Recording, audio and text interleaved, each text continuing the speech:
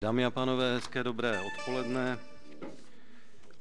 Já zase, než začneme oficiálně, jenom rychlý, rychlý výlet do historie Poruby, tak jenom pro vaši informaci 2. června, protože vždycky se snažím být aspoň datumově, datumově blízký, ale tentokrát 1901 byl schválen rozpočet na stavbu Porubské Sokolovny ten rozpočet neměl překročit částku, a teď se podržte, 12 tisíc korun.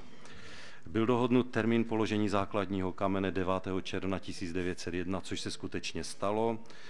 Byl položen základní, základní kámen pro výstavbu Sokolovny. Tohoto ceremoniálu se účastnilo 900 občanů, z nichž 200 bylo v sokolských krojích.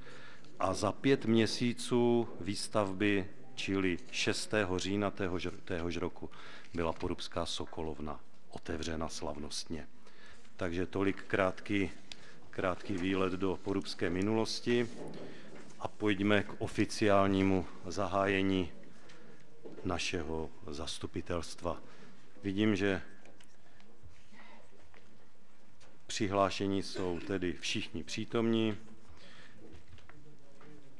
a tak tedy můžeme oficiálně začít. Dámy a pánové, je těsně po 16. hodině a dovolte, abych vás přivítal na jednání 19. zasedání zastupitelstva městského obvodu. Připomenu jen, že programy a materiály, které budeme dnes projednávat, máme na elektronickém úložišti. Na úložišti je rovněž informativní zpráva o činnosti starosty, odborů, útvarů Úřadu městského vodu Poruba a Centra sociálních služeb Poruba, odpověď na podnět občana ke smlouvám na dodávky tepla, odpověď občanovi, který vystoupil na minulém zasedání z dotazy na stav zeleně, především v souvislosti s výskytem jmelí na stromech a na výsadbu nových stromů a doplňující informace k materiálu číslo 10, který budeme dnes projednávat. Chtěl bych ještě upozornit, že na úložišti byl aktualizován přehled zařízení o zrušení povolení k provozování loterie nebo jiné podobné hry v provozovnách na území městského obvodu Poruba. Rovněž byla na úložišti zveřejněna informace o počtu vykoupených garáží v jednotlivých lokalitách, dále informace o reorganizaci základních škol a informace o projektu Komunitní centrum. Anonymizované materiály byly zveřejněny pro občany na webových stránkách. V této chvíli je tedy přítomno 35 členů zastupitelstva, jestli dobře počítám z dnešního, a tedy lze konstatovat, že tedy naše zastupitelstvo je usnášení schopné.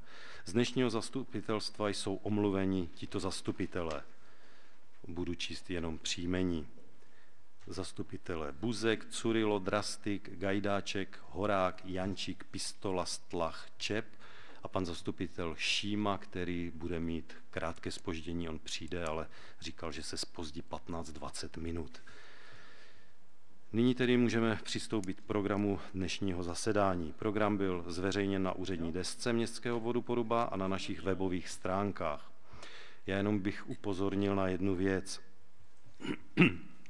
Všichni na svých stolcích před, před sebou jste měli čestné prohlášení ke střetu zájmu a tento Toto čestné prohlášení je připraveno k materiálu číslo 23, což je veřejná zakázka komunitní centrum Všichni spolu.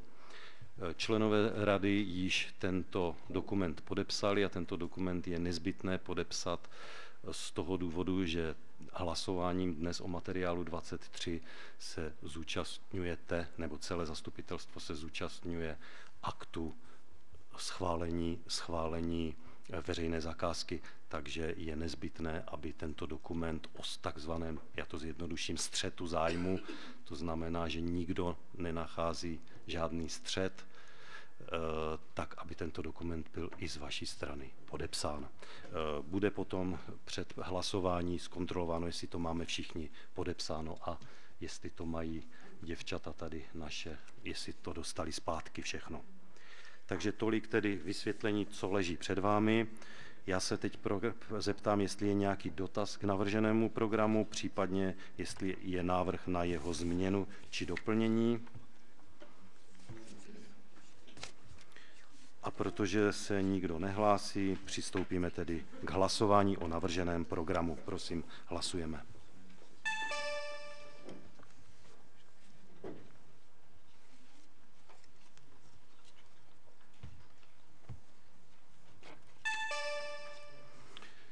Děkuji, program byl tímto schválen. Provedením zápisu z tohoto zasedání pověřuji paní Pavlu Majerovou. Za ověřovatele zápisu určuji členy zastupitelstva, a to konkrétně pana Čípa, pan zastupitel Číp je přítomen, a paní zastupitelku Gembalovou. S tou jsem hovořil, takže je přítomna. Oba jsou přítomní. Zápis z našeho zasedání minulého 18., které se konalo 12. dubna, ověřili zastupitelé paní Belškeova a pan Dekický a já se jich tedy teď táží, zda je zápis v pořádku a poprosím, aby se přihlásili v pořadí, kdy začne odpovídat paní zastupitelská Belškeova.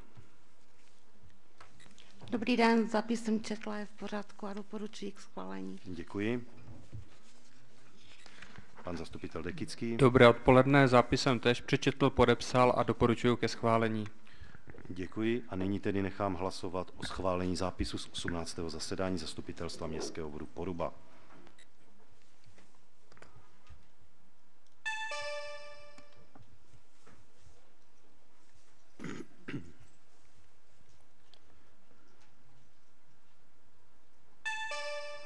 Děkuji.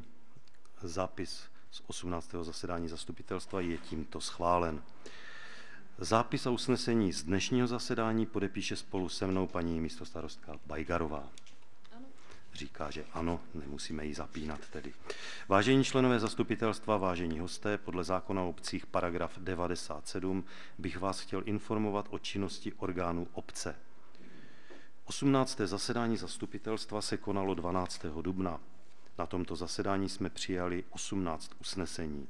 Rada městského obvodu Poruba se za období od minulého zasedání zastupitelstva sešla na třech řádných a jedné mimořádné schůzi a přijala celkem 144 plus dnešních devět usnesení. Mezi jinými rada rozhodla o záměru pronajmout prostory v příspěvkových organizacích statutárního města Ostrava městského obvodu Poroba pro školní rok 2017-2018 schválila rozdělení výsledku hospodaření příspěvkových organizací zřízených statutárním městem Ostrava městským obvodem Poruba za rok 2016. Souhlasila s investičním záměrem revitalizace Pustkoveckého údolí. Dále rozhodla uzavřít dohody o splátkách dlužného vyúčtování služeb spojených s nájmem bytu. Vzala na vědomí vyhodnocení výsledků Fóra udržitelného rozvoje s názvem Porubské desatero 2017 svěřila odboru bytového hospodářství a údržby budov působnost udělovat souhlas s podnájmy pro nájemce bytů ve vlastnictví statutárního města Ostravy svěřená, mě, svěřená zpráva městskému obvodu Poruba a to ve všech případech s výjimkou udělování souhlasu s podnájmy nájemcům bytu zvláštního určení, to vše za podmínky, že souhlas s podnájmem bude udělen vždy maximálně na dobu jednoho roku schválila provozní řád podzemního parkoviště v ulici plukovníka Raimunda Prchaly v Ostravě Porubě s účinností od 1. 7. 2017. Dále projednala návrh hodnotící komise veřejné zakázky rekonstrukce bytových domů číslo popisné 432 až 435 na ulici Skautské v Ostravě Porubě, zadané formou otevřeného řízení dle zákona číslo 134 lomeno 2016 sbírky o zadávání veřejných zakázek. Vzala na vědomí rezignace paní Štramberské na funkci předsedy komise dopravní rady městského obvodu Poruba rozhodla o vyhlášení konkurzního řízení na místo ředitele mateřské školy Ostrava Poruba, dětská 920, příspěvkové organizace o stanovení požadavku na kvalifikační předpoklady a náležitosti přihlášek pro konkurzní řízení. Vzala na vědomí kontrolu plnění svých usnesení. Všechna usnesení Rady městského obvodu Poruba jsou pro občany zveřejněna v anonymizované podobě na našich webových stránkách. Dámy a pánové, dle schváleného programu přistoupíme nyní k volbě návrhové komise pro zpracování usnesení Pro přípravu usnesení z dnešního zasedání doporučuji opět zvolit sedmičlenou návrhovou komisi. Má někdo, prosím, jiný návrh? Nevidím. A protože tedy nikdo jiný návrh nemá, pojďme nyní hlasovat, že budeme mít sedmičlenou návrhovou komisi.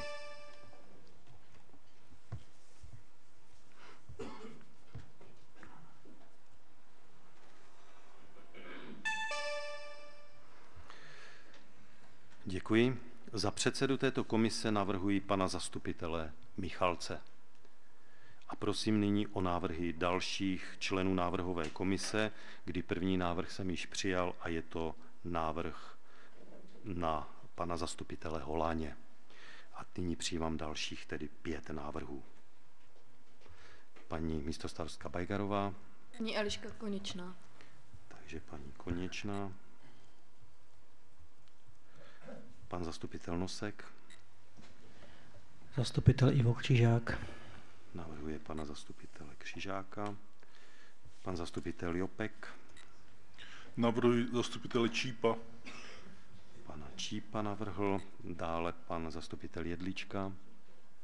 Navrhuji pana Kudelu. Pan Kudela je další návrh. A poslední návrh má pan místostarosta Malík. Pěkné odpoledne. Eh, Navrhuji pana zastupitele Terbuška. Pan zastupitel Trbušek.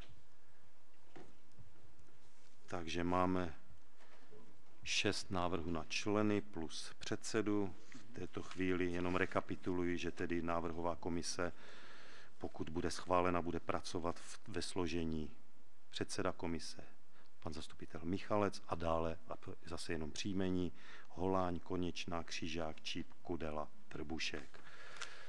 Máte prosím k tomuto návrhu nějaké připomínky, než nechám hlasovat? Nikdo se nehlásí a proto pojďme hlasovat o navržené návrhové komisi.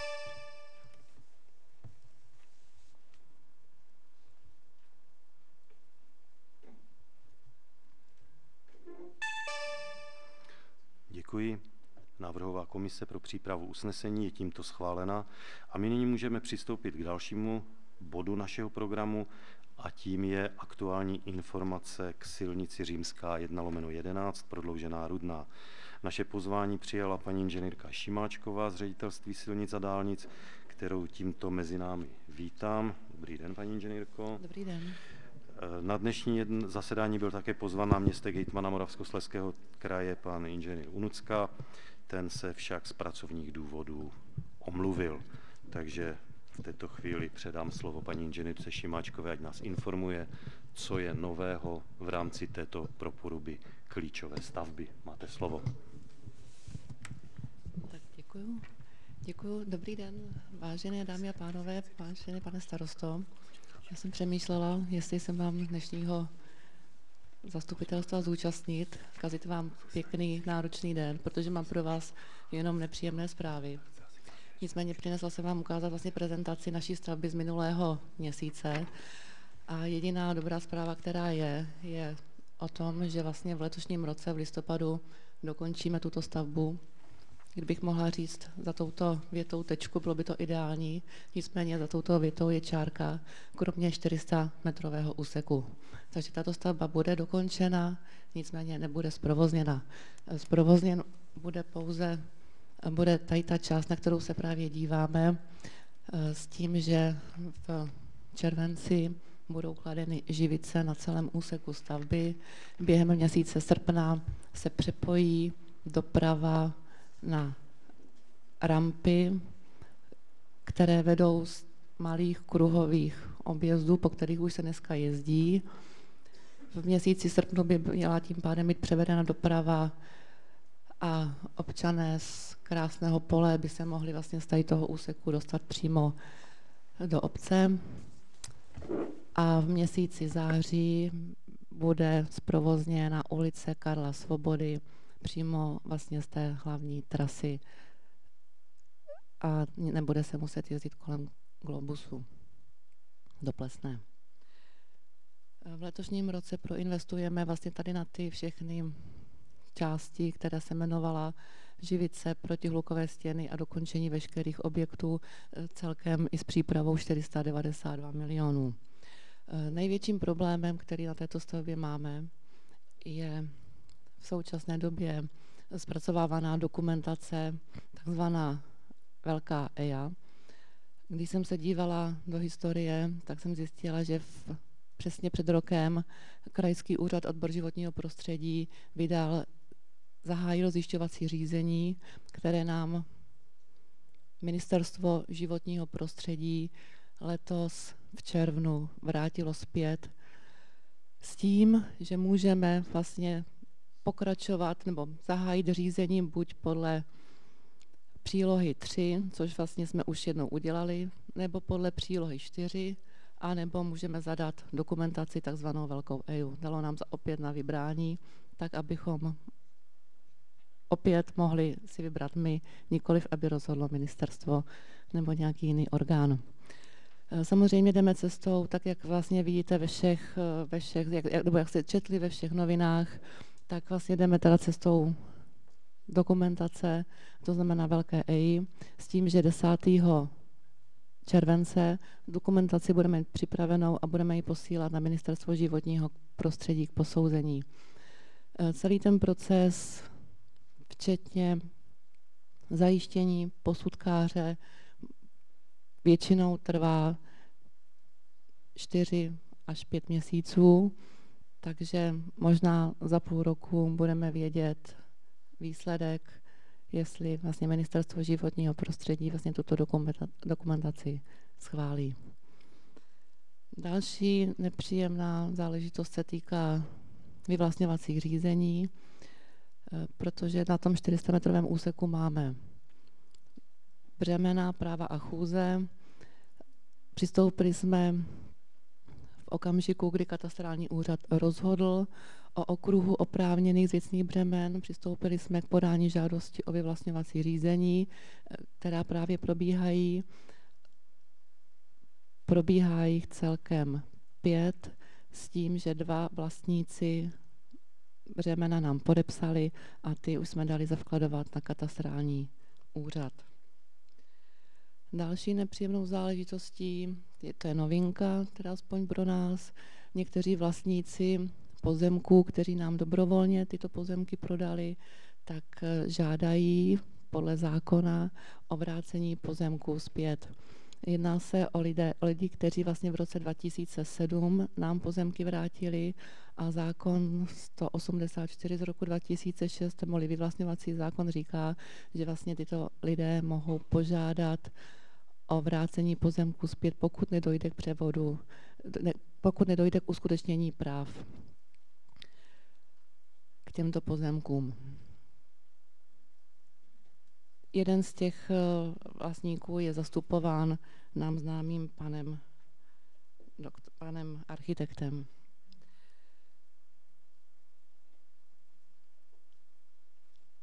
Ta, teďka vlastně jste vidět, teďka vidíte, co jsem, já jsem se ta původně myslela, že se teda, eh, že se s vámi podělím o situaci, která vlastně se bude zprovozňovat, nicméně jsem se teda zapovídala trošku, vy teďka už tady vidíme hlavní trasu, ta, to vidíte stále stejně, takže já si myslím, že co se týká teďka videa, to už na tom se nic nezmění, tam, jak jsem už říkala, se budou potom na některých úsecích montovat pouze protihlukové stěny, budou se osazovat, nebo osazují se, osazuje se vegetační vegetace, Eh, nicméně některá eh, opatření nebudeme dělat, když tady tu stavbu nesprovozňujeme, nebudeme osazovat svodidla, nebudeme osazovat kovové prvky, které by se nám na stavbě mohly eh, ztrácet.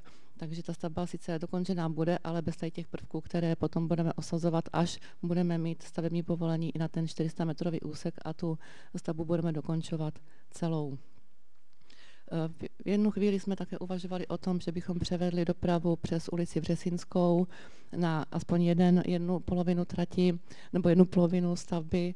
Nicméně od tohoto záměru jsme ustoupili z důvodu nesouhlasů většiny, většiny pozvaných eh, na jednání a většiny, většiny vyjádření, neboť eh, vlastně eh, na ulici, ulice Březinská není koncipována provedení vlastně tak, takové dopravy a vzhledem k tomu, že by vlastně i občané v ulici Březinské kteří vlastně tam bydlí a vede tam tramvajová trať, měli velké problémy s výjížděním, zajížděním, zároveň i teda i zpráva silnic Moravskoslezského kraje by velice těžko mohla vlastně dále řešit údržbu. I obec v Řesina měla svoje výhrady k tomu, tak od tohoto záměru jsme ustoupili. Poslední taková trošku problematika, která se týká spíš ne veřejnosti, ale spíš jako naší stavby, to se jedná se o objekty, které my v současné době dokončujeme. Jsou to objekty většinou polních cest a místních komunikací, které máme dokončeny a na, ne, nepodaří, nedaří se nám je vlastně právě s městským obvonem Poruba předávat tak, aby vlastně uh, mohly být předány do užívání. Já myslím, že toho je dost, těch nepříjemných zpráv. Takže to je asi tak všechno, co jsem dneska měla na srdci. Teďka zrovna se blížíme k tomu 400-metrovému úseku, jo, k tomu březnému břemení, kde máme položenou panelovou cestu přes, eh, eh, k tomu rybníku Skalka. A potom ten další úsek navazující je opět úsek, který už je dokončený. Takže za mě všechno. Tak já děkuju. Jenom s dotazem budu první. Jestli jsem tomu dobře rozuměl, ŘSD si samo vybralo, že bude dělat znovu velkou EIU? No, víceméně eh, po konzultaci, po konzultaci s Ministerstvem dopravy a životního prostředí, ano, je to ten nejsložitější, eh, ale nejistější, nejistější možnost toho, abychom dospěli k nějakému závěru. Eh, protože ty první dvě možnosti, první možnosti vlastně zjišťovacím řízením podle přílohy 3 jsme se vydali v prvním kole, eh, příloha, podle přílohy číslo 4 by to bylo vlastně to, bylo by to zjišťovací řízení, nicméně se za, s náležitostmi dokumentace ale ta, tato, tato, tento krok, který jsme vybrali, v podstatě už je nejistější v tuto chvíli.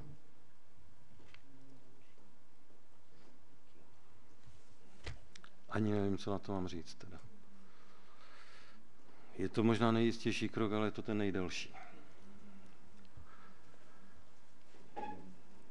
Jenom rekapituluju, běží tam tedy pět vyvlastňovacích řízení, ještě čer, jakoby živých. Ano, ano. To byly podány žádosti, buď byly podány nové žádosti, anebo bylo pokračováno v, ve vyvlastnění přerušených, které jsme podávali v roce 2016. S dotazem přihlášen pan zastupitel Nosek. Dobré, dobré odpoledne, dámy a pánové. Já se chci zeptat na takovou věc. Zazněla taková informace, která poměrně rychle zapadla, ale mi to trošičku rezonuje v uších, tak se chci jenom zeptat, jestli jsem to správně pochopil. Pan architekt, kromě toho, že teda mm, dělá, co dělá a má určité právní prostředky a určité právní možnosti, tak pochopil jsem správně, že se k tomu portfoliu jeho, jeho řekněme, možností přidala možnost v, požadovat zpět navrácení pozemku, který v roce 2007 jak si mu byl vyvlastněn nebo, nebo ho daroval? Ne, pan architekt nepožádal o vrácení pozemku. Požádali o vrácení pozemku lidé, kteří vlastně nám ty pozemky eh, dobrovolně prodali kupní smlouvou. Pan architekt pouze zastupuje jedny z nich. Pan místo starosta Malík bych se chtěl zeptat eh, na ten katastrální úřad. Eh, mi to není úplně jasné. My jsme dostali informaci v minulosti, že se tam objevily často jasná eh, věcná břemena, břemena právě práva chůze k rybníku a s tím, že ŘSD řešilo s katastrálním územím vůbec, jak je toto možné, jak se to nastalo. Čili chápu to správně, že jste se s tím smířili, že se nebudeme soudit, nebo vy se nesoudíte o ty věcná břemena s katastrálním úřadem? Eh, přesně, no, my jsme se s katastrálním úřadem nesoudili, my jsme pouze vlastně zahájili eh, řízení v, eh, ohledně výmazu těchto břemen, protože takhle, ty pozemky, ty břemena byly zapsány původně na pozemky.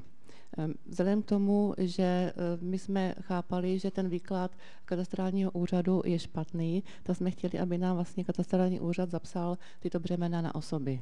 Katastrální úřad nám vyhověl, zapsal na osoby nicméně po odvoláních zase změnil názor, napsal to zpátky na pozemky. My jsme se zase odvolali a on to dal částečně na pozemky, částečně na osoby.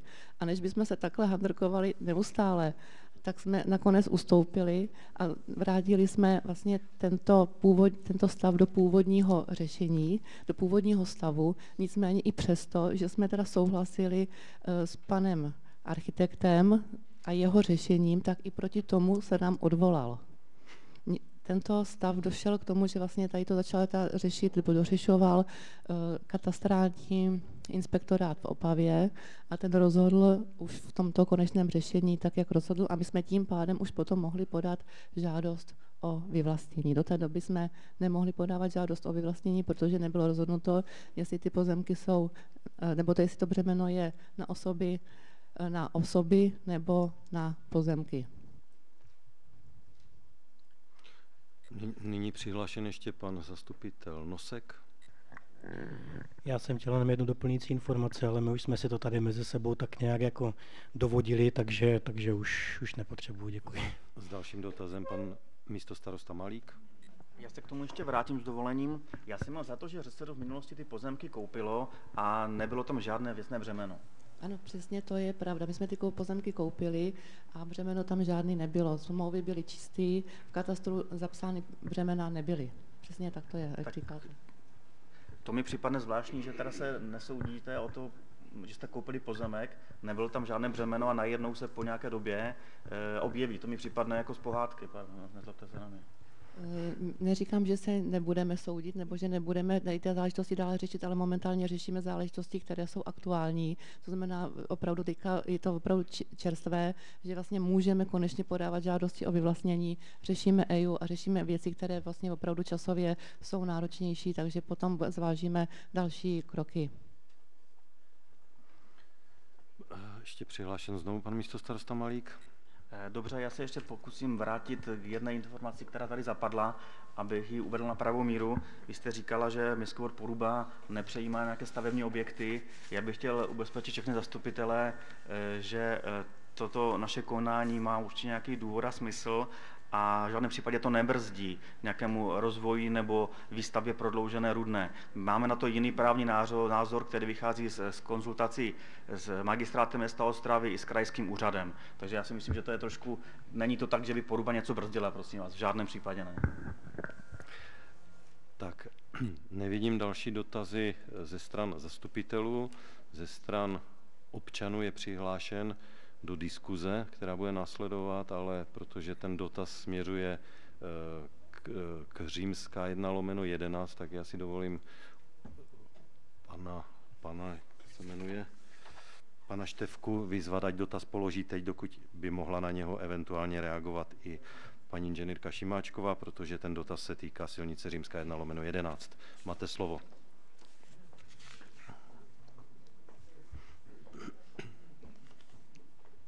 Vážení spoluobčané, dobrý den. Já mě zaráží vůbec, eh, co se děje okolo té silnice 1 lomeno 11. Jaké právní zadrhely tam jsou. Eh, já jsem se setkával na stavbách jak v zahraničí, tak i doma, eh, kde čeští manažeři se dostávali do těchto nešťastných svárů a neuměli, neuměli z toho výjít ven. A ti, co byli na druhé straně, ti toho, ti toho zneužívali. U nás je to obdobné, eh, nějací vychytrálci se toho chytnou a dělají obrovské problémy. Ovšem zákon je zase tak díravý, že se dá jakoukoliv dírou utéct. Jak je to možné, že už tady tak dlouho, dlouho se pracuje na zákonech a stále, stále jsou díry. A z druhé strany to obrátím na tramvajovou dopravu, rozšíření tramvajové dopravy eh, v tisku i v rozhlase, v televizi přijde zmínka, jakoby, že už to bylo všechno, všechno vyřízené, všechno hotové s absolutní jistotou. Je toto možné vůbec takovým způsobem eh, postupovat, když třeba to pozemkové řízení, schvalování a tak dále, to všechno trvá eh, půl roku, rok, rok a půl a tady je to během měsíce hotové. Je třeba se nad tím zamyslet, jestli nad tím náhodou není tam nějaký zadrhel v podobě nekalých záležitostí, jo? Tak, Já bych to řekl, že to by asi tak bylo eh, vše. Dobře, tak já teď nevím, jestli paní inženýrko zaznamenali jsme nějaký dotaz. Mohu jenom teda souhlasit eh, s pánem, s občanem města, že opravdu naše zákony trošičku by chtěli asi upravit tak, aby jsme mohli vlastně stavět a potom teprve se dohadovat a mít postaveno a potom se opravdu dohadovat a ne to, co vlastně čemu nastává, že my musíme nejprve řešit podle zákonu a stavět nemůžeme. Dobrá, děkuji. Takže jsme si vyslechli tedy informaci o stavu silnice Římská 1 lomeno 11 prodloužená Rudna. Já paní inženýrko děkuji moc za váš čas. Doufejme, že Děkuji. někdy příště se uvidíme s optimističtějšími informacemi, takže díky moc. Děkuji a pěkný den vám přeji. Nyní poprosím a protože jsem ji neviděl v sále, je zde přítomna paní ředitelka Daňková a je tady. Takže dalším bodem, který máme projednávat, je, že si vyslechneme informaci eh, k rekonstrukci Domu kultury Poklad a by- byla přizvána jednatelka společnosti paní eh, magistra Daňková a já poprosím, aby nám opravdu stručně sdělila, co je tedy nového v rámci DK Poklad. Máte slovo, paní inženýrko. Paní magistro. Eh, Dobrý den, vážený pane starosto, dámy a pánové. Mrzí mě, že si teď vyslechnete další eh, nepříjemnou zprávu, kterou jistě jste již zaznamenali. Eh, Bohužel ani druhý pokus o rekonstrukci se Domu kultury Poklad se nepovedl. V současné době statutární město a Dům kultury Poklad předali zhotovitelům výpověď. Běží tedy 30-denní lhůta, která skončí 5. července za pár dnů. Nicméně stále ještě i na stole leží možná dohoda o eh, právech a povinnostech, které by mohly, eh, která by mohla ještě stále být eh, podepsaná. Ehm, Co je příčinou tohoto špatného stavu? Ehm, Jsou to především vícepráce, eh, které vlastně na stavbě vyvstaly.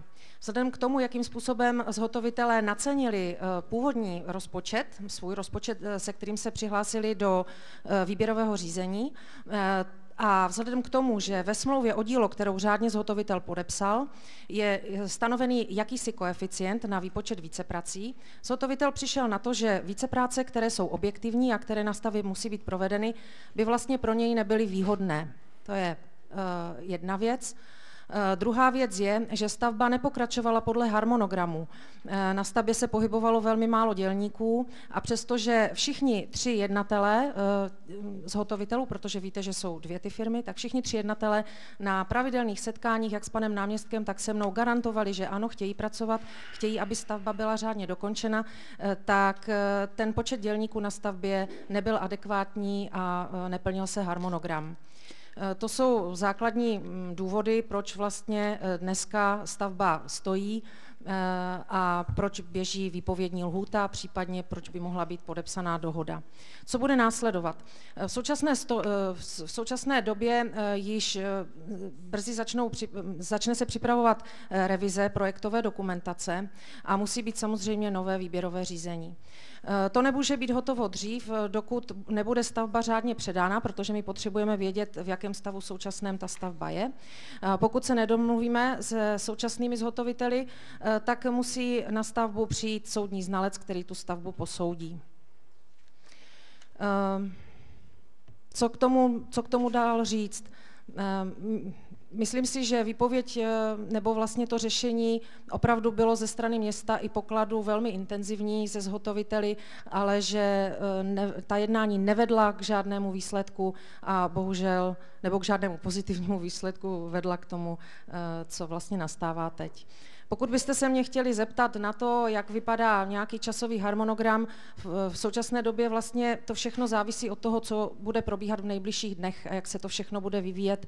E, nicméně e, musí proběhnout výběrové řízení, e, e, musí přijít nový zhotovitel, musí být dokončena samozřejmě stavba a potom interiéry.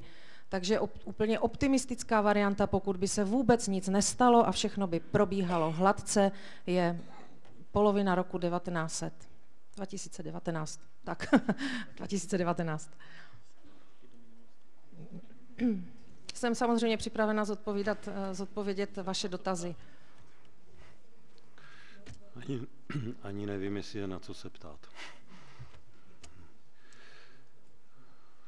Ještě paní, paní jednatelko, jestli byste nám řekla, se uvažuje, v jakém stavu je spojení společností, teď myslím i, i včetně, včetně názvu společnosti, v jakém to je stavu teď v této chvíli. Eh, Rada města vlastně teď předloží zastupitelstvu města 21. června záměr o sloučení eh, Domu kultury Akorda, Domu kultury Poklad. Tím rozhodným dnem, pokud zastupitelstvo eh, schválí tady tento záměr, by měl být 1. leden 2018 příští rok. A to bude nová společnost? Nebo... Ano, nová společnost. A jak se bude jmenovat ta eh, společnost? V současné době my jsme se hodně zabývali tím názvem. Eh, já osobně nechci, aby zmizel eh, slovo akord, aby zmizelo slovo poklad, protože obě dvě, obě dvě společnosti jsou zavedené společnosti. Nechtěli jsme, aby to bylo příliš dlouhé, proto jsme mm, přistoupili k tomu, že by se ta nová společnost mohla jmenovat Akord a poklad, SRO, s tím, že na propagačních materiálech by se používalo eh, společenské a kulturní, společenská kulturní centra města Ostravy ale jako obchodní název by byl Akord a poklad SRO. Eh, možná, že to A by nemuselo být jako A, ale mohlo by to být takový ten znak ono to graficky vypadá dobře. Tím pádem obě dvě značky vlastně zůstanou zachování, zachovány. Eh, lidé v Ostravě dneska ví, co je akord a ví, co je poklad. Já si myslím, že tak je to dobře. A zároveň bych, eh, dneska je přece jenom 21. století a Dům kultury pro mnohé obchodní klienty zaznívá ještě trošku takovým šedým socialismem a my dneska jako akord jsme kongresové centrum a společenské a poklad to bude brzy, takže proto tento název. Škoda, že už existuje jeden název hradu, který se jmenuje Trosky. Napadá, když se podívám na stávající stav našeho kulturního domu, ať už se to nazve jak chce. Kongresové centrum, kulturní dům. Mhm. Je to tak, je já to tomu smutné. říkám, že je to začarovaný poklad, no. no, no. Je to, bohužel. No, doufejme, že už ho někdo odčaruje. Přihlášen pan zastupitel Jedlička s dotazem. Já se, paní ředitelko, omlouvám v tom šumu, mě to nějak zaniklo. Ještě jednou, kdybyste mohla říct takový ten reálný nebo možná střízlivý nástřel, kdyby se mohly zahájit zase stavby po výběrovém řízení zhruba. Já z toho mám takový pocit, že jediné, co je zrekonstruované, tak to je ten klavír, o kterém nám tady hovořil pan náměstek Pražago nehdy, když tady byl. A to je docela málo, takže Klavír máme, hraje se mnohdy v městech i na, na městích, to je fajn, ale ta stavba vypadá docela tristně, takže jestli je nějaký nástřel, je tu ještě nějaká firma, která má odvahu do toho vstoupit, jestli máte nějaké větší naslechy než my tady běžní, běžní členové zastupitelstva. Jak jsem říkala, všechno teď odvisí od toho, kdy bude předána současná stavba a zda se se současnými zhotoviteli dohodneme, anebo zda skutečně e, vyplyne ta výpověď. Pokud to bude výpověď, musí nastoupit nějaký soudní znalec, který zrekapituluje současný stav. Eh, jeho práce mohou trvat dva měsíce, teprve potom může být vyhlášeno výběrové řízení. Nicméně v průběhu těch dvou měsíců už se bude pracovat na té projektové dokumentaci, teď nové. A já třeba, jestli se nad tím zamýšlím, co pozitivního to může přinést, tak přece jenom některá pozitiva na, na tom, že se to bude dělat po třetí, vidím. A to jsou, napřík, jsou dvě, dva velké. Jedna je úspora na divadelní a jevištní technologie, protože v původním projektu byly navrženy eh, příliš, eh, příliš náročné divadelní a jevištní technologie, které eh, Dům kultury nepotřebuje. Eh, takže my ušetříme tady na tom, na, na těchto položkách. A navíc původně bylo počítáno, že v křídle C, to je to vpravo, bude, bude kulturní centrum, příspěvková organizace vašeho obvodu, která však byla zrušena. Proto kulturní centrum byl malý, malý divadelní sál počítán. Samozřejmě s divadelními technologiemi a s vysokým betonovým stropem nad jevištěm. Ten, my teď chceme tohle zrušit, protože je to zbytečné. Z tohoto prostoru chceme udělat hezký klubový prostor, protože to k tomu úplně vybízí a nepotřebujeme tak vysoký strop. Díky tomu, že se ten strop sníží na úroveň běžného stropu, tak nahoře nad tím je cvičební sál, který se vlastně může zvětšit. Takže i taková, ona je to drobná úprava mm, ze stavebního hlediska, ale provozně přiveze, eh, přinese eh, pokladu eh, samozřejmě lepší výsledky a mm, jako je to, je to z provozního hlediska daleko lepší. Nebo například technologie kuchyně. Ty, by, ty byly plánovány v roce 2012 a dneska máme 2017. Zprovozněno bude za další rok a půl nebo dva roky. A ty technologie samozřejmě jdou dopředu. Takže my teď uděláme i revizi technologií kuchyně, aby odpovídali současným standardům, aby byly eh, moderní a ekonomicky úsporné. Takže jo, jsou to takové drobné perličky na tom, ale přece jenom nějaké, nějaké drobné pozitivní věci jsou, plus například úprava toho kinosálu, o kterém už jsem mluvila. O kterém jsem mluvila. Tak děkuji. S dalším dotazem přihlášen pan místostarosta Stachura. Přeji všem dobré odpoledne a já bych se chtěl paní ředitelky zeptat, kdo tvořil smlouvu se zhotovitelem a zda je v té smlouvě zakomponován eh, nějakým způsobem eh, sankční eh, dopad na zhotovitele, když z té stavby odejde, když nedodrží termín. To znamená, mm, kolik bude ten zhotovitel platit městu, potažmo statutárnímu městu nebo mm, pokladu, pokutu za to, že to dílo nedokončí, kolik bude platit za den nebo měsíčně, jakým způsobem se bude sankcionovat za to, že ta stavba už několik měsíců stojí. A pokud tam takový odstavec je, eh, jestli už se to teda vymáhá potom zhotoviteli. Děkuju. Eh, smlouvu tvořilo statutární město Ostrava. Eh, co se týče sankcí, sankcí za nedokončení díla v, v souvislosti s harmonogramem, samozřejmě sankce tam jsou. Nicméně pokud já si teď vzpomínám v hlavě, nevím, nakolik jsou sankce za to, že vlastně eh, dílo bylo úplně nedokončeno nebo že vlastně na začátku stavby eh, stavba končí. To vám v tuto chvíli neumím říct. Nicméně víme, a to je taky v tom je trošku zakopaný pes, proč vlastně zhotovitel nechce přistoupit na, nebo hm, teď probíhají ta jednání, ještě ujasňování si e, našich stanovisek, ale úplně se mu nelíbí to, že chceme nějakou bankovní záruku teď, a, e, která činí 2 miliony korun a chceme taky další jistoty e, proto, abychom měli peníze na to, že tam budou nějaké vady a nedodělky a zároveň, že pokladu tím e, vlastně svým jednáním způsobil zhotovitel škodu, protože budeme muset oplocovat, budeme muset objekt hlídat a to samozřejmě bude platit Dům kultury poklad. Takže to jsou věci, které my samozřejmě budeme po zhotoviteli požadovat. Jestli... Ale až, do, až, eh, jak se domluvíme, v tuto chvíli ne. Bude to až v okamžiku, kdy buď m, mm, bude smlouva ukončena, ne, jako úplně vypovězena, anebo se nějakým způsobem domluvíme. Paní magistru, já se ještě zeptám na jednu věc. Kolik jsme ztratili času, protože to je ztracený čas, eh, tím, že to dělal tento zhotovitel, teď myslím od předání staveniště pod tento okamžik, pod dnešní den třeba? Staveniště bylo předáno v červenci minulého roku a stavba měla být hotová na konci tohoto roku. Takže Plus jednodu... interiéry, samozřejmě. Jednodušeně řečeno nejsou. rok. Tak, ano. Rok čistě stavebních, kdy měly provádět, být prováděny stavební práce. Nemluvím to, co bylo předtím, protože se chystala upravená dokumentace, a dělal se pasport toho objektu znovu. Ano. Nějaké no. práce tam samozřejmě provedeny za tu dobu byly, ale není to žádné, žádný velký objem, bohužel. Dobrá, pan místo starosta Stachura. Vy jste sdělila, že v tuto chvíli neumíte odpovědět, jestli tam je nějaká sankce za nedokončení díla, tak eh, jestli můžu, tak bych požádal o písemnou odpověď na tento dotaz. Jakým způsobem to bude řešeno, eh, pokud tam ta sankce je, jestli bude vymáhána, v jaké je výši, a, a poslat nebo dát to třeba na mm, úložiště potom, aby si to všichni naši zastupitelé mohli přečíst. Ano.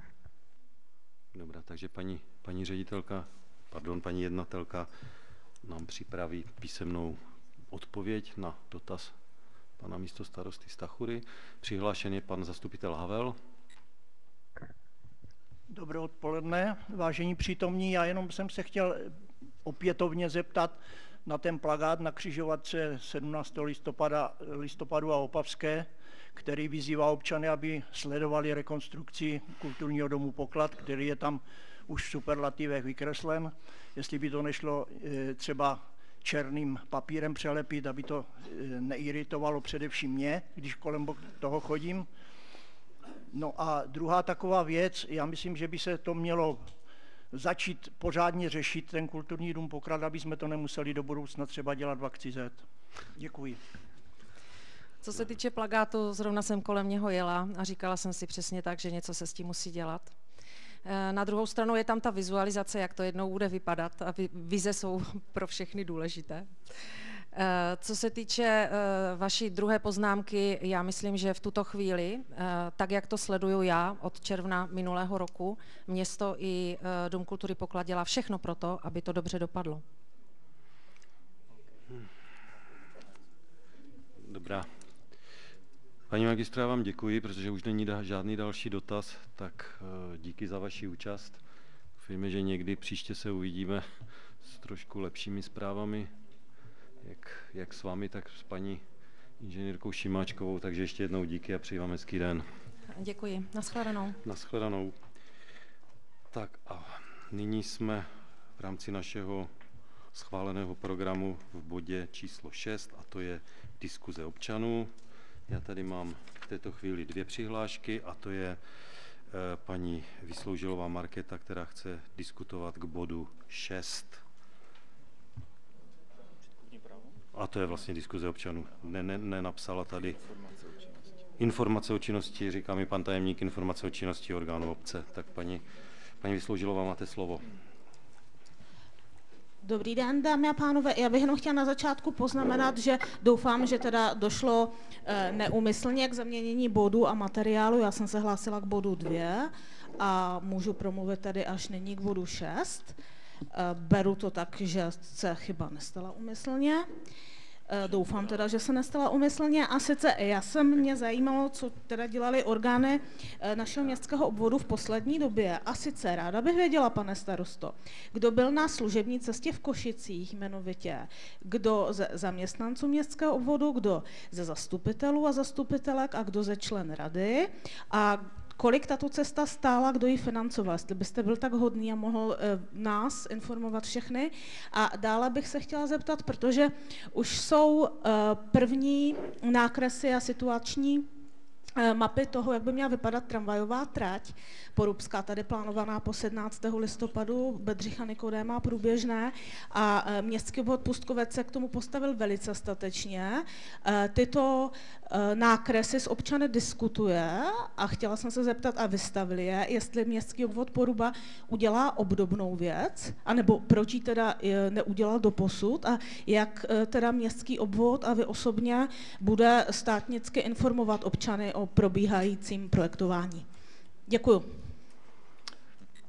Tak k první otázce, první otázce, Uh, asi bude lepší vám připravit písemnou odpověď, protože já samozřejmě uh, nevím teď uh, částky, kolik stála cesta zastupitelů, kteří se zúčastnili výjížďky do Košic, jenom obecnou informaci. Byla, byla tato možnost sdělena všem zastupitelům a z každého zastupitelského klubu mohl využít, mohli využít členové této nabídky. E, my jsme se opravdu chtěli na vlastní oči a uši přesvědčit, jak vypadá trať, jak je založena. Tam k tomu v Košicích byla příležitost, protože část tratě je již hotová a část je v rozestavěném stavu. E, jestli si dobře pamatuju, tak tam byla, byla se mnou paní Eh, zastupitelka Tošková, eh, pan zastupitel Gajdáček, pan zastupitel Malík, pan zastupitel Stachura, moji kolegové z rady a paní místostarostka Bajgarová a já. A ještě pan, pan místostarosta Zábojník. To bylo tedy z členů zastupitelstva, takže potom ten náklad s tím spojený eh, vám sdělíme písemně. Ať ta informace je zcela přesná. To je k té první, eh, k té první části, nebo k tomu prvnímu dotazu a k druhému dotazu na eh, dokumentaci k územnímu rozhodnutí se v této chvíli pracuje. Já myslím, že tady má paní kolegyně, má tady část dokumentace, čili je možné do ní nahlédnout. Jinak já asi nevidím problém, byť nejsme my nositeli toho projektu a to vy dobře víte, možná ta, ten dotaz by měl zaznívat zcela jinde, ale nicméně i jste ho přednesla tady, tak my tu dokumentaci, kterou obdržíme eh, z města, tak my asi umíme zprostředkovat. Je otázka, jestli ji dáme na elektronické úložiště. To bychom museli mít asi souhlas autora, ale asi si umím představit, že to v této chvíli žádné tajemství není. Nicméně eh, paní kolegyně se teď hlásí, že by k tomu něco vyřekla víc, takže má slovo paní místo starostka Bajgarová. Dobré odpoledne. Um, to je dokumentace, vlastně, kterou eh, dostala pracovní skupina, která se podílí nebo docházíme na konzultace v rámci toho, eh, té projekční fáze. Takže my jsme ji teďka dostali, aby jsme se k ní nějakým způsobem, způsobem vyjádřili. Eh, já si myslím, že je to spíše na magistrátu, aby zveřejňoval eh, tyto dokumenty jakoby směr, směrem dále. Nicméně eh, jsou tady k dispozici skutečně pro nahlédnutí to, co v této chvíli je. A na tom pracovním jednání bylo domluveno, že i v průběhu toho projektování budou uspořádány ještě určité dílčí schůzky Eh, s, s občany, aby se také mohli nějakým způsobem vyjádřit. Každopádně, pokud někdo chce v této chvíli nahlédnout do těch dokumentů, tak jsou tady na stole, takže lze. Takže tolik k druhému dotazu. Dále přihlášen do diskuze pan Kalvach Jiří z Janaziky. Pane, pane Kalvachu, prosím, máte slovo. Eh, téma diskuzního příspěvku není uvedeno. Ano, dobrý den, takže téma uvedu sám. Ještě.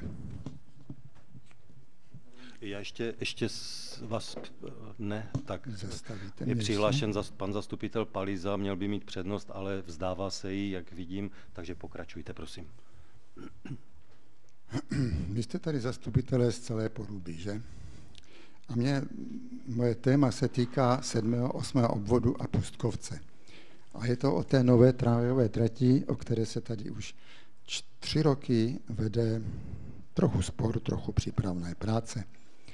Já mám tady v kapse nejenom prezentaci, ale i video, jak vypadá dnešní trasa teď.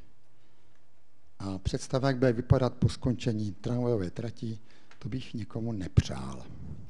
To bude horší jak 17. listopadu, jak Opavská od Martinovské až nahoru. Já nevím, jestli tam je nějaký strom. Myslím, že ne. A jestli tak někde okrajově. Já to nebudu mít tady promítnout, protože na to není čas. Vy máte svůj program a já jsem přišel nám říct pár slov. Spočítal jsem, a proč to asi dělám, já jsem z katedry městského inženýrství naší fakulty stavební a učíme studenty, jak zacházet s občany a s městem v dnešní době. Nejenom urbanismus, architektura, technická infrastruktura, dopravní infrastruktura, a také sociální problémy. Takže řeknu jenom čísla.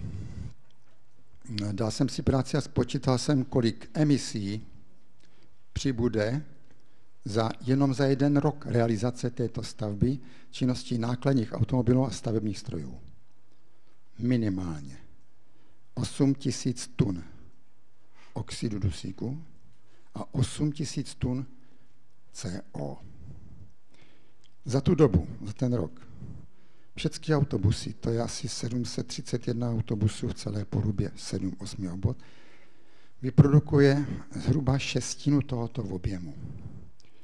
Takže my vyprodukujeme za rok ty stavby šestinásobek toho, co ty autobusy za celý rok. To je nádhera, že? Tohle nikdo nezvažoval, s tím nikdo nepočítal. Hlavně, že to bude ekologický přínos ta tramvaj. Druhý problém je, jsou celkem tři. Druhý je doprava. Jestliže zablokujeme některé trasy, abychom je přestavili na tramvajovou trať. Totálně ucpeme stávající dostupy z Opavy do Ostravy jak po Opaské, tak po hm, ta ulice tam v Petřkovi, Petřkovické, kam jezdí většina lidí, protože ta Opavská jim nevyhovuje. Když tohle uděláme, tak tady bude kolaps, jaký jsme ještě nezažili. A tohle nikdo nezvažoval ani v POV. POV se asi nedělá v projektu pro územní řízení. Já si myslím, že by mohlo, ale nevíme o tom nic. No ten třetí problém, který jsem teďka dopočítal, je, že na ulici 17. listopadu od Slovanu až ke Globusu, po průběžné ulici, bude vykáceno minimálně 90 velkých zrostlých stromů, které jsou píchou naší části poruby, a dalších 75 menších, to znamená do průměru 20 cm. Na ulici Bedřicha Nikodéma od Martinovské až k Duze by bylo vykáceno 92 obrovských krásných stromů, které dnes tvoří alej, a 90 menších stromů, které jsou dokonce rok nebo dva vysázeny jako nová náhrada za původní zrostlou zeleň. Já bych radši vědět, jestli tohle někdo někde v tom projektu všecko vyhodnocuje. Teď se dělá technické řešení, jak umístit profil tramvajové trati a autobus a těch zbývajících částí pro osobní a nákladní automobilovou a autobusovou dopravu, ale že by se řešily dopady na životní prostředí, o tom nevím. To asi není, není předmětem projektu pro územní řízení. Není. Hm. Ale mělo by být. Samozřejmě to bude posuzováno, protože EIA se musí taky zpracovat dopady vlivu stavby na životní prostředí. A tam se všechno ukáže. Já osobně za naší, za svoje lidi, které mám, znám ve svém okolí, za moudré lidi na naší fakultě, i když vedení má jiný názor než já, zásadně odmítám, aby tady byla implantována tramvajová trať do stávajícího sídliště, které už tady funguje 50 let a má zaběhnutý celý systém nejenom dopravy, ale i chodníků, cyklostezek, zelených ploch, parků a prostoru mezi těmi domy. Tramvajová trať patří tam, kde se budují nová sídliště, nové celky území a má se dělat v době, kdy tam ještě nic neroste. Tohle to pokládám za zločin proti přírodě. Všechno. Tak děkuji. Dal přihlášený pan zastupitel Paliza, má slovo. Dobré odpoledne, pane starosto, dobrý den, kolegové, kolegyně, vážení hosté. Já bych jenom využil té možnosti, eh, který, které vlastně vzešlo z vystoupení paní místostarostky Bajgarové, která eh, říkala, a já jsem si učinil poznámku, že eh, vznikla nějaká pracovní skupina k projednávání té dokumentace pro územní rozhodnutí k tramvavé trati. Jestli by mohla padnout informace, kdo je členem té pracovní skupiny. Děkuji. Tak, paní místo starostkové, poprosím, ať odpovíte. Já to nevím jmenovitě, ale uh, jsou tam zástupci za Porubu, zástupci za Pustkovec, uh, za dopravní podnik, za odbor dopravy, za odbor životního prostředí, uh, zástupci projektantů a, a je to zhruba kolega Stachura se mnou byl na tom prvním jednání, tam bylo asi 35 lidí, uh, mám takový dojem, uh, ale jmenovitě skutečně všechny, všechny neznám. Z Poruby jsme na tom prvním jednání, jsem vypnuta. Z Poruby jsme na tom prvním jednání byli já a pan Stachura, na druhé jednání, tuším, že jsem byla pozvaná já a pan Malík, účastnila jsem se já a je to tak jako průběžně se to střídá. Tak, děkuji za odpověď. A dál už nikdo není přihlášen, já už nemám, neviduju žádný, žádnou přihlášku do diskuze, takže pojďme prosím dál. Já bych poprosil jenom jednu věc. Já mám z, toho, z tohoto zastupitelstva úkol zvát na každé zastupitelstvo zástupce města, z vedení, vedení města, aby podali aktuální informaci o stavu e, projekčních prací, eventuálně jak, jak se jak se vyvíjí e, ta dokumentace k územního rozhodnutí. E, už jsme tak, myslím, udělali dvakrát a z města se nám vedení města v této chvíli omlouvá, protože žádné nové informace nemá. Takže já poprosím zastupitelstvo, ať přeformulujeme ten úkol. Já, já tam pozvánku panu primátorovi pošlu, řekněme, univerzální, ať nás přijdou informovat v okamžiku, kdy budou mít nějaké nové informace, ať je nezvu furt dokola na každé zastupitelstvo a on se mi znovu, pan primátor nebo e, náměstci primátora neomlouvají. Takže já poprosím, ať ten úkol specifikujeme tak, že mě tedy pověřujete eh, vyzvat pana primátora, ať přijde do porubského zastupitelstva eh, ve chvíli, kdy bude mít nové informace eh, z, z projekčních prací v rámci, v rámci ekologizace tramvajové dopravy nebo ekologizace dopravy v Porubě. Můžu poprosit tedy o hlasování takto formulovaného úkolu, protože mi přijde nesmyslné, aby nám tady přišel primátor a řekl nám, že v této chvíli nic nového neví, že se čekáš, jak dopadne ten projekt. Takže myslím si, že to je gramotné se eh, ho nezvat a ten úkol naformulovat tak, jak jsem řekl. Takže já poprosím tedy o procedurální hlasování o tomto, o tomto nově znějícím úkolu pro mě. Děkuji.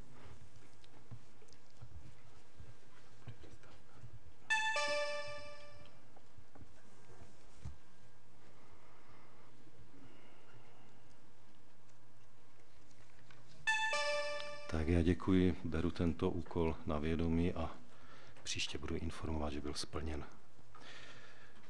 Tak a vzhledem k tomu, že jednáme již přesně hodinu, tak podle jednacího řádu vyhlašuji 10 minut přestávku. Takže pro, poprosím 17 hodin 10 minut budeme pokračovat.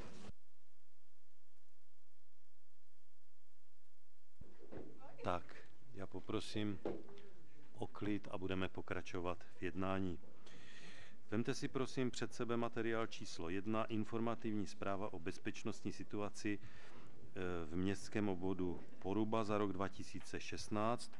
K tomuto bodu jsou přítomní eh, zástupce městské policie, PČR a hasičského záchranného sboru Moravskoslezského kraje a já si dovolím pány představit a přivítat je zde za městskou policii Ostrava eh, IVC Martinovská, pan magistr David Tyleček. Dobrý den. E, za Pečerku obvodní oddělení Poruba 1, praporčík Šot Petr. Dobrý den. E, Pečer, obvodní oddělení Poruba 2, nadporučík Vakalař Patrik Šajtaver. Dobrý den. A za hasičský záchranný sbor Moravskoslezského kraje, kraje pan inženýr Tomáš Lefner. Dobrý den. Tak a pojďme tedy k materiálu což je informativní zpráva o bezpečnostní situaci v městském obvodu Poruba za rok 2016 a já otevírám diskuzi o tomto rozsáhlém, obsáhlém materiálu analytického charakteru. Pokud pánové chtějí sami něco do, dopředu avizovat jako důležité z tohoto materiálu, pokud tam cítí nějakou potřebu na něco upozornit, Nevidím, nevidím, takže pojďme k dotazům. Že pokud ani kolegové ze zastupitelstva nemají žádný dotaz, materiál je jim jasný, tak si dovolím tedy diskuzi ukončit, přejít k navrženému usnesení, které se ptám, jestli chce někdo nějak upravit. Usnesení koncipováno tak, že bereme tento materiál na vědomí. Nikdo se nehlásí, pojďme tedy hlasovat o navrženém usnesení materiálu číslo 1.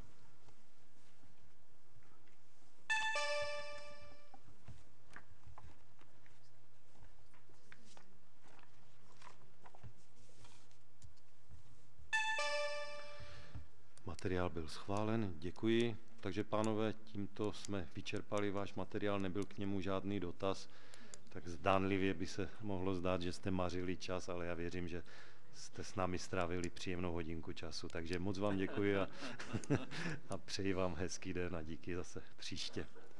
Děkujem. Tak a my prosím přistupme k materiálu číslo dvě a to je závěrečný účet statutárního města Ostravy, městského obvodu Poruba za rok 2016 a účetní uzávěrka Účetní závěrka statutárního města Ostravy městského vodu Poruba sestavená k rozvahovému dni 31.12.2016. A já otevírám rozpravu k tomuto materiálu. Přihlášen pan, pan zastupitel Palíza s dotazem. Já jsem eh, trošku čekal, že to komentuje eh, paní místostarostka, eh, která má finance na starost, aspoň v těch hrubých číslech, ale ono to je celkem přehledně pro ty, kdo se to pohybuje, tak já teda nasměřuji dotaz. Já jsem, a teď se oprostím o slova říct ve vašich novinách, paní místo starostko, řeknu, že v jedných novinách se objevila informace v článku, který zní městu zůstala miliarda navíc, informace, která ve které primátor města, pan Macura, sděluje, že, cituji, přestože si obvody loni stěžovali, že dostávají od města málo peněz, tak nejvíc zůstalo dvěma největším, které křičeli nejhlasněji, a to jihu 100, pardon, 237 milionů a porubě 97 milionů korun. Jestli byste mi k tomu mohla říct, kde jsme dostali takové peníze z města, a proč jsme teda, pokud jsme dostali nějaké takové peníze z města, proč jsme těch 97 milionů korun z města, které jsme dostali, jsme je nevyčerpali? Eh, jestli byste to mohla aspoň prosím krátce okomentovat. Děkuji. Tak paní místo starostka Válková má slovo. Takže dobrý den, eh, vážení kolegové. Eh, já se domnívám, že eh, tady došlo k určitému nedorozumění nebo nechci kritizovat pana primátora, ale ke špatnému vyjádření, protože se nejedná o to, co jsme dostali, co jsme dostali z města. To číslo těch necelých 97 milionů je, když si nalistujete stranu 3 právě toho závěrečného účtu, tak je to, je, jsou to disponibilní zdroje základního běžného účtu k použití bez účelu. A tyto se skládají z částek, které máte uvedeny, eh, které máte uvedeny eh, výše. To znamená, že je to eh, stav základních běžných účtů k 31.12., saldo finančního vypořádání, co je z toho zapojeno do schváleného rozpočtu z roku 2017, co je zapojeno do, jaké jsou vázané prostředky, tedy dosud nepoužitý zůstatek příjmu z prodeje bytového fondu. Čili, abych to nekomentovala dlouze, jedná se eh, v podstatě o částky, které nahospodařil Eh, úřad městského obvodu nebo městský obvod eh, i v minulých letech. Jako, a jsou to tedy zdroje, eh, které máme k dispozici a na něž prozatím nemáme navázány žádné, žádné projekty. Tedy v žádném případě tomu nelze rozumět tak, že je to 97 milionů, které jsme dostali od magistrátu města Ostravy, eh, protože my jsme dostali v minulém roce eh, přiděleno, eh, nepamatuju si to úplně přesně na korunu, ale zhruba 17 milionů. Nevím, jestli vám to tak, pane zastupiteli, stačí? Tak, pan, pan, pan zastupitel Nosek je teď přihlášen, nebo chce reagovat přímo na, na to, pan Jo, oba dva chcete. Tak, pan zastupitel Nosek se přihlásil dřív. Eh, mám jenom takovou poznámku k tomu, jestli tedy v onom periodiku, které nebylo zmíněno, eh, mohla být eh, v tomto kontextu účinná replika, ve které by bylo popsáno přesně to, co nyní místo starostka, paní místo starostka Válková řekla, spolu s údajem, kolik jsme tedy reálně od toho města na ty investice dostali aby občané, kteří případně tuto informaci mají, neměli zkreslené informace o tom, jak se tady hospodaří. Jo? My samozřejmě můžeme vydat, teď Martine, oslovuji našeho pana tiskového mluvčího, tiskovou zprávu či žádost o otištění reakce na tento článek. Je teď ale ovšem otázka, jestli nám bude otištěn. To je otázka. Takže Martine, prosím, jak můžeme reagovat? Tak jak jsem říkal, čili žádostí o, o řekněme, reakci na článek, který byl otisknut. Můžeme takovýto článek při, článek, můžeme takový, takovouto reakci připravit s tím, že požádáme periodikum, aby nám toto vysvětlení, vysvětlení a reakci na sdělení města otisklo. Čili Martine, asi nebude problém, že? Děkuji, pane zastupitel Paliza. Já už se eh, nechci eh, k tomu nejmenovanému periodiku Mladá fronta dnes už vyjadřovat eh, z, z toho důvodu, protože mě nepřekvapuje, že pokud se tady zmiňuje městský obvod Poruba, tak ten redaktor je líný zavolat na městský obvod a dotazat se na, na to, co vlastně ten autor toho prohlášení tím myslel. Říkám, to asi souvisí s tou příslušností k jedné podnikatelské skupině, ale eh, to nechci teď tady řešit, protože ty osoby, které jsou za to zodpovědné, tady nesedí. Já jsem chtěl paní Valkové poděkovat, já jsem si to v těch číslech našel, protože je zcela evidentní, eh, že si někdo plete pojmy s dojmy a oni se mu potom ty dojmy zhmotní v realitu.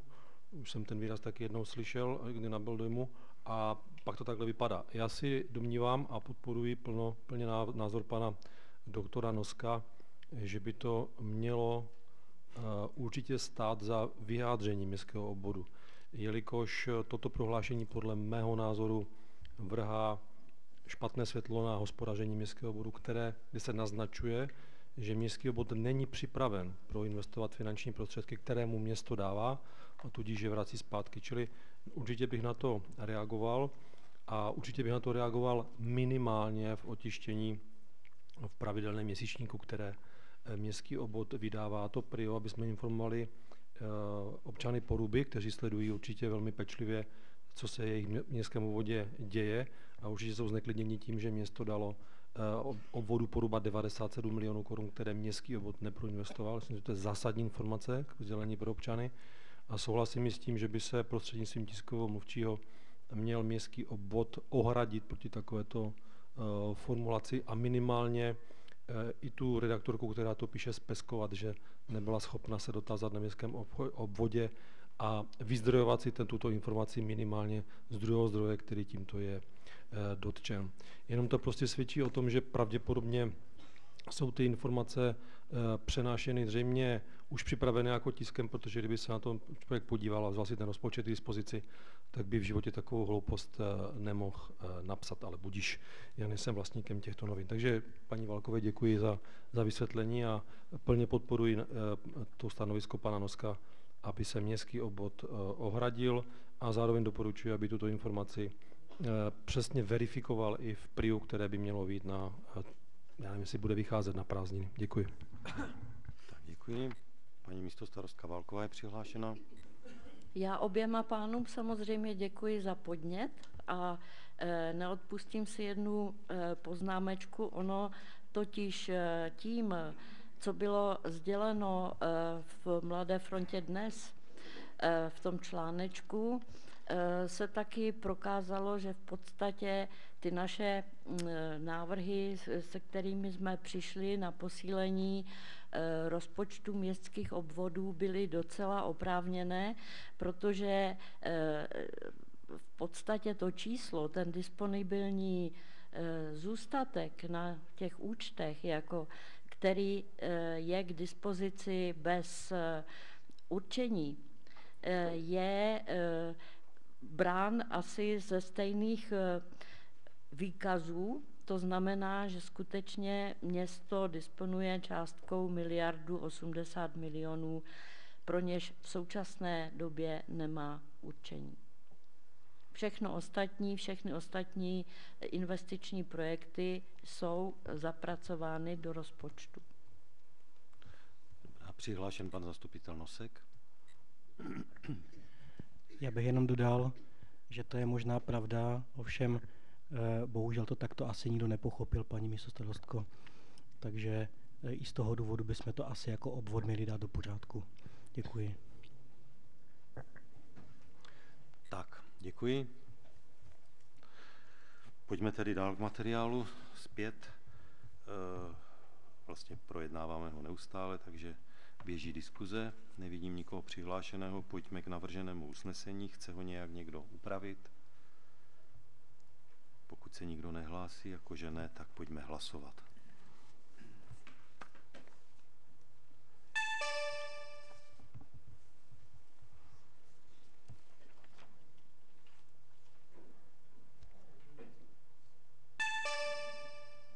Děkuji, materiál byl schválen. Materiál číslo 4, žádost o prominutí, pardon, materiál číslo 3, návrh rozpočtových úprav. Otevírám rozpravu o materiálu.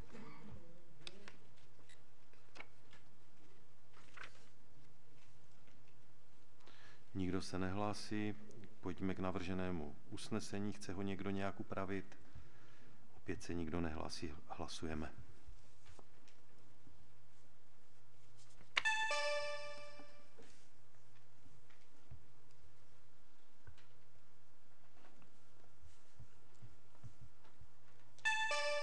Materiál byl schválen, děkuji. Já možná jenom zrekapituluju stav. V této chvíli je přítomno 35 zastupitelů. Ze 45 10 je řádně omluveno.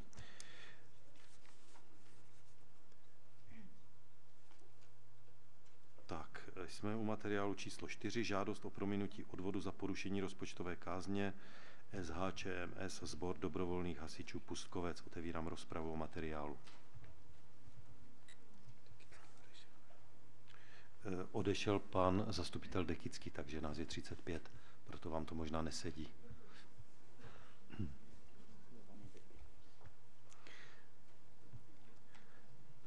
Chce někdo diskutovat o materiálu číslo 4? Nikdo se nehlásí. Pojďme k navrženému usnesení, to je připraveno ve variantách. Upozorňuji tedy, že předložena je v této chvíli varianta A. Chce někdo měnit variantu? Nikdo se nehlásí. Hlasujeme tedy o variantě A materiálu číslo 4.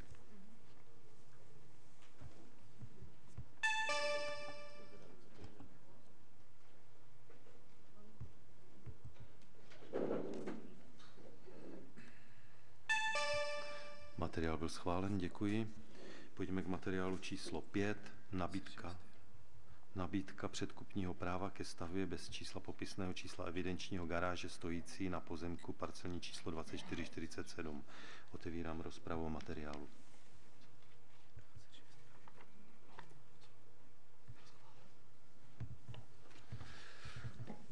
Do rozpravy se nikdo nehlásí, končím ji. Chce někdo měnit něco v navrženém usnesení? Nikdo se nehlásí, hlasujeme tedy materiál číslo 5.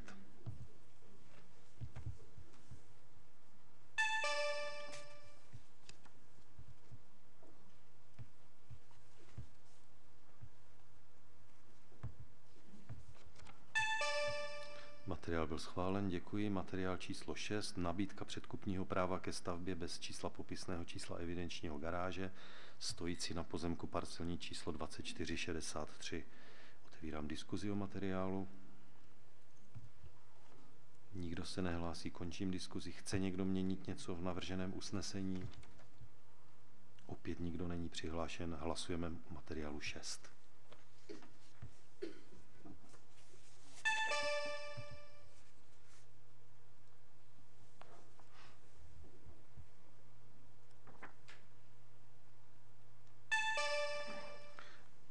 schválen, děkuji. Materiál číslo 7.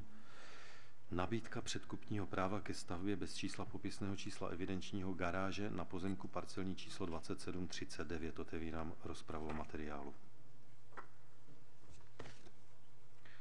Nikdo není přihlášen. Končím diskuzi. Chce někdo měnit něco v usnesení? Nikdo se nehlásí. Hlasujeme materiál 7.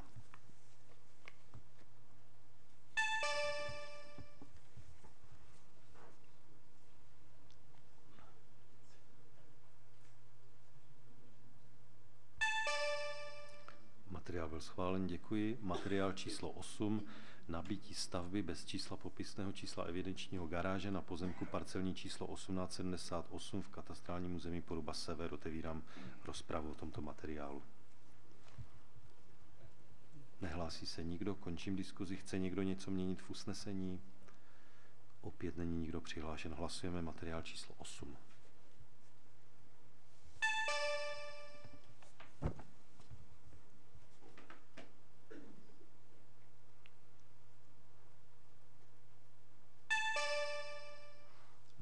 schválen, děkuji. Materiál číslo 9, nabití stavby garáže stojící na pozemku parcelní číslo 724 v katastrálním území Poruba obec Ostrava. Otevírám diskuzi o tomto materiálu. Nikdo se nehlásí, končím diskuzi. Chce někdo měnit něco v usnesení? Nikdo se nehlásí, hlasujeme materiál 9.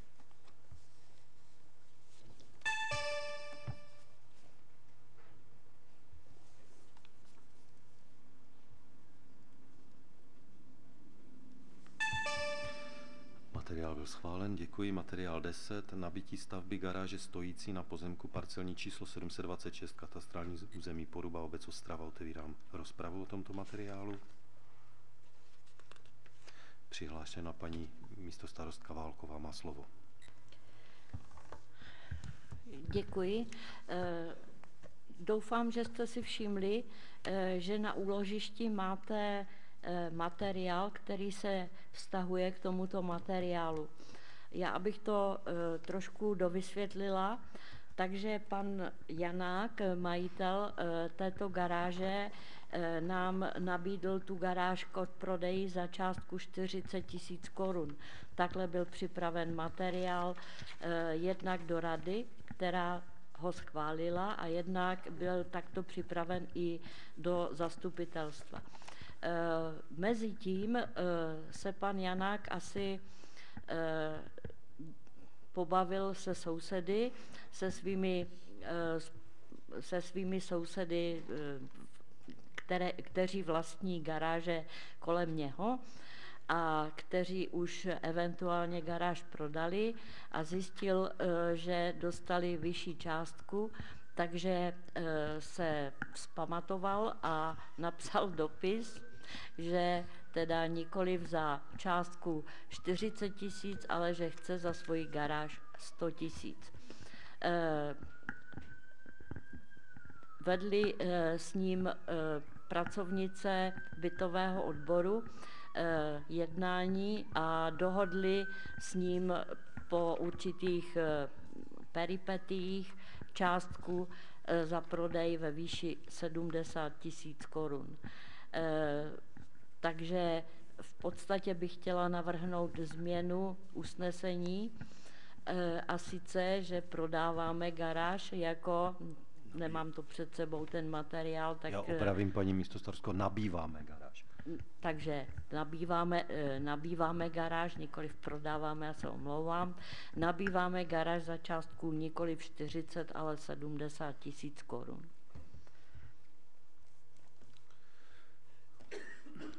Takže návrh je na úpravu usnesení, kde v bodě 1 kupní cena si upravme prosím částku ze 40 tisíc na 70 tisíc.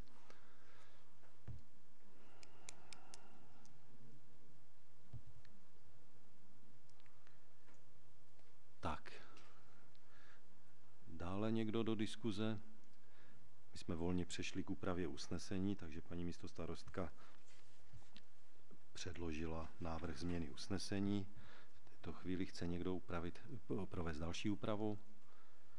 Pokud ne, pojďme hlasovat o upraveném návrhu usnesení. Ta úprava je jenom v té ceně. Takže prosím, hlasujeme.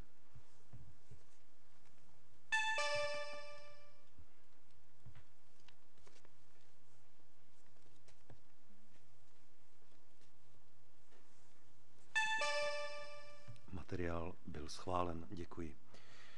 Materiál číslo 11. Nabití stavby garáže stojící na pozemku parcelní číslo 740 v katastrálním území Poruba, obec Ostrava. Otevírám rozpravu o tomto materiálu. Končím rozpravu, protože se do ní nikdo nehlásí. Chce někdo měnit něco v usnesení? Opět se nikdo nehlásí, takže hlasujeme materiál 11.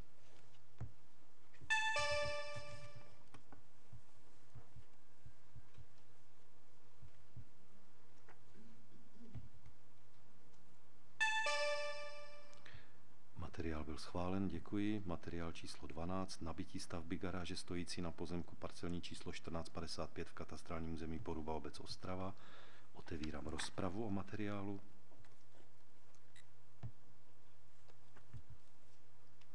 Končím rozpravu. Chce někdo měnit usnesení? Hlasujeme materiál číslo 12.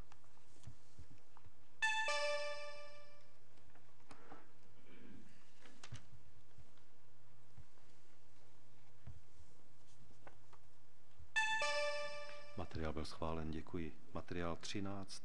Nabití stavby garáže stojící na pozemku parcelní číslo 1773 v katastrálním území Poruba Severobec Ostrava. Otevírám diskuzi o materiálu.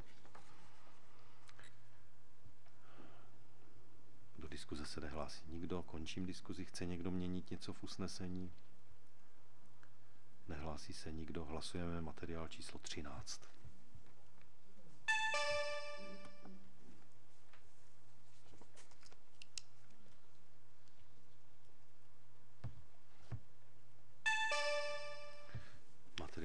schválen, děkuji. Materiál číslo 14, nabití stavby garáže, stojící na pozemku parcelní číslo 2742 v katastrálním území Poruba, Poruba obec Ostrava. Otevírám rozpravu o materiálu.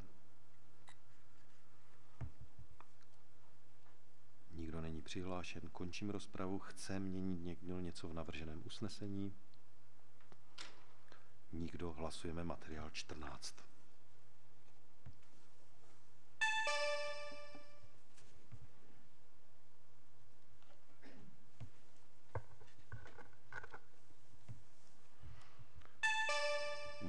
schválen, děkuji. Materiál 15. Nabití staveb garáží stojících na pozemcích parcelní číslo 1851 a parcelní číslo 1909 v katastrálním území Poruba Severobec Ostrava. Otevírám diskuzi o tomto materiálu. Nikdo se nehlásí, končím diskuzi. Chce někdo měnit něco v usnesení? Nikdo se nehlásí, hlasujeme materiál 15.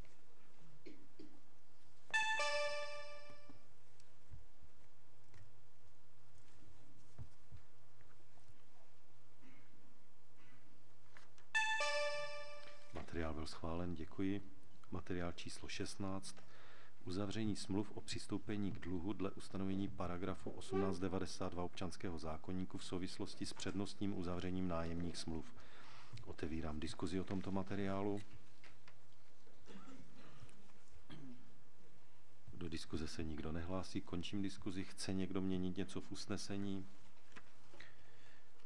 Opět se nikdo nehlásí, takže hlasujeme materiál 16.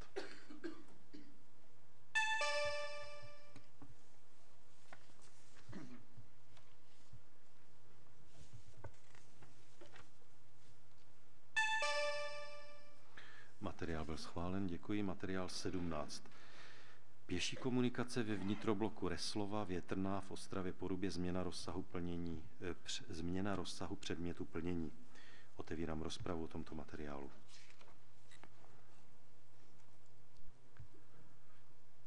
Nikdo se nehlásí, končím rozpravu. Chce někdo měnit něco v navrženém usnesení? Nikdo se nehlásí, hlasujeme materiál 17.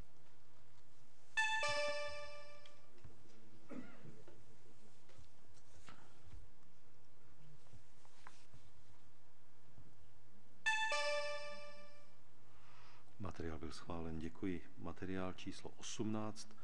Prodej části pozemku parcelní číslo 2393 lomeno 47 v katastrálním území Poruba Severovec Ostrava. Otevírám diskuzi o materiálu.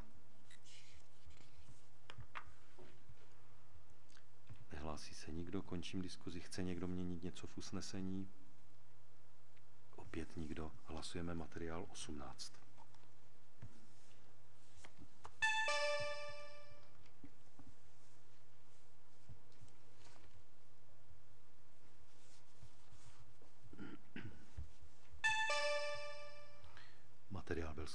děkuji. Materiál číslo 19. Stanovisko k záměru města prodat část pozemku parcelní číslo 3751 lomeno 6 v katastrálním území Poruba Severobec Ostrava. Otevírám rozpravu o materiálu.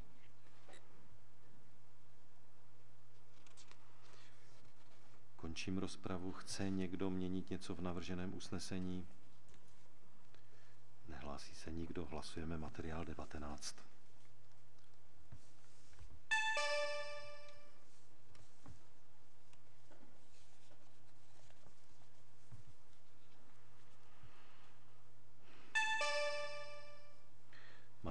schválen, děkuji. Materiál 20. Lepší přístup k výuce jazyků na ZŠ v Ostravě Porubě. Podání žádosti o podporu z integrovaného regionálního operačního programu. Otevírám rozpravu materiálu.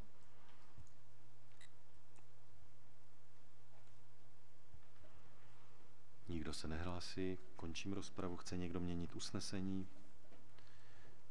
Nehlásí se nikdo, hlasujeme materiál 20.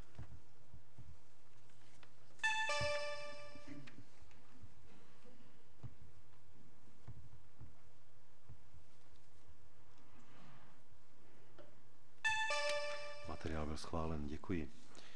Materiál číslo 21, místní agenda 21, vyhodnocení výsledku Fóra udržitelného rozvoje s názvem Porubské desatero 2017. Otevírám diskuzi o tomto materiálu.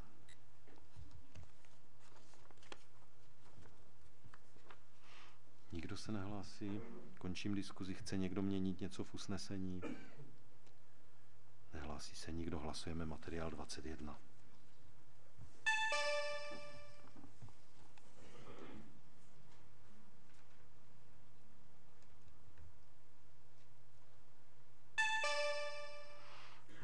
schválen, děkuji. Materiál 22. Obec Přátelská seniorům 2017 podání žádosti o dotaci z Ministerstva práce a sociálních věcí České republiky. Otevírám rozpravu o materiálu.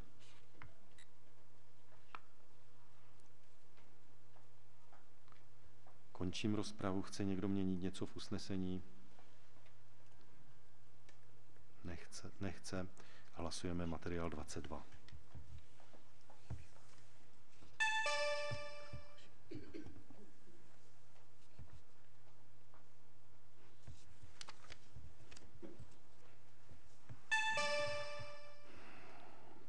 Materiál byl schválen, děkuji.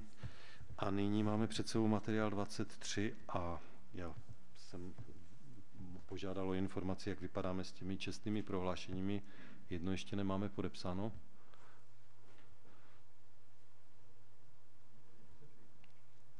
Prosím? To čestné prohlášení ještě nemáme podepsáno.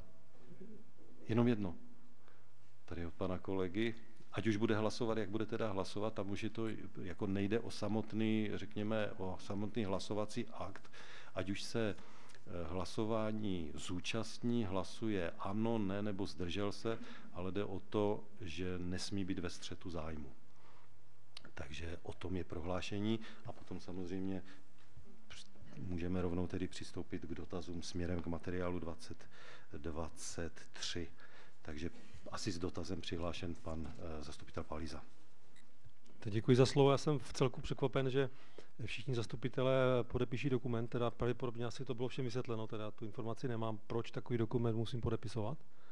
A zejména pak u toho bodu 2, který tam je uveden, tam je uh, taková definice, která se týká možnosti tu zájmu tak uh, jestli to někdo dokáže vysvětlit, protože třeba zrovna u té společnosti Bistron Group uh, já tu společnost znám, kolega Bystroň, který v té firmě pracuje, je eh, v jedné z komisí zahnutí ANO na městě.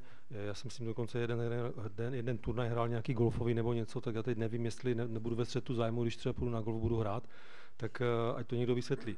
Já se teda přiznám, že eh, takovýto dokument nevidím poprvé a jsem celkem konsternován, že mám podpisovat něco, že eh, budu, nebudu nic zveřejňovat, žádné důvěrné informace, já je nemám, nebo obdržím nějaké důvěrné informace a tak dále, tak ať se k tomu jakoby vyjádří, pokud se někdo vyjádřoval v minule, já teda takovou informaci nemám, tak ať třeba pan Fiala nebo někdo zdůvodní proč, jestli to teda je, je nezbytné, protože ani na městě jsem nic takového nepodepisoval, když se schvalovali záležitosti. Chápu, že ten materiál je zastupitelstvu, protože nabýváme majetek, to je jasné, v případě se to zrealizuje, budeme mít majetek za téměř 35 milionů korun, ale mě by to docela teda zajímalo, proč takto, tímto způsobem. Je, byl vyzván pan magistr Fiala, možná se to ujme.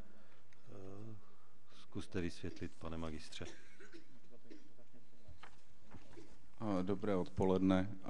Ta povinnost vyplývá jednak ze zákona o zadávání veřejných zakázek a jednak z toho titulu, že v tomto případě Eh, na tady tuto zakázku je zároveň požádáno o dotaci. Eh, tento formulář, pokud já vím, je, je takto předepsán a přednastaven.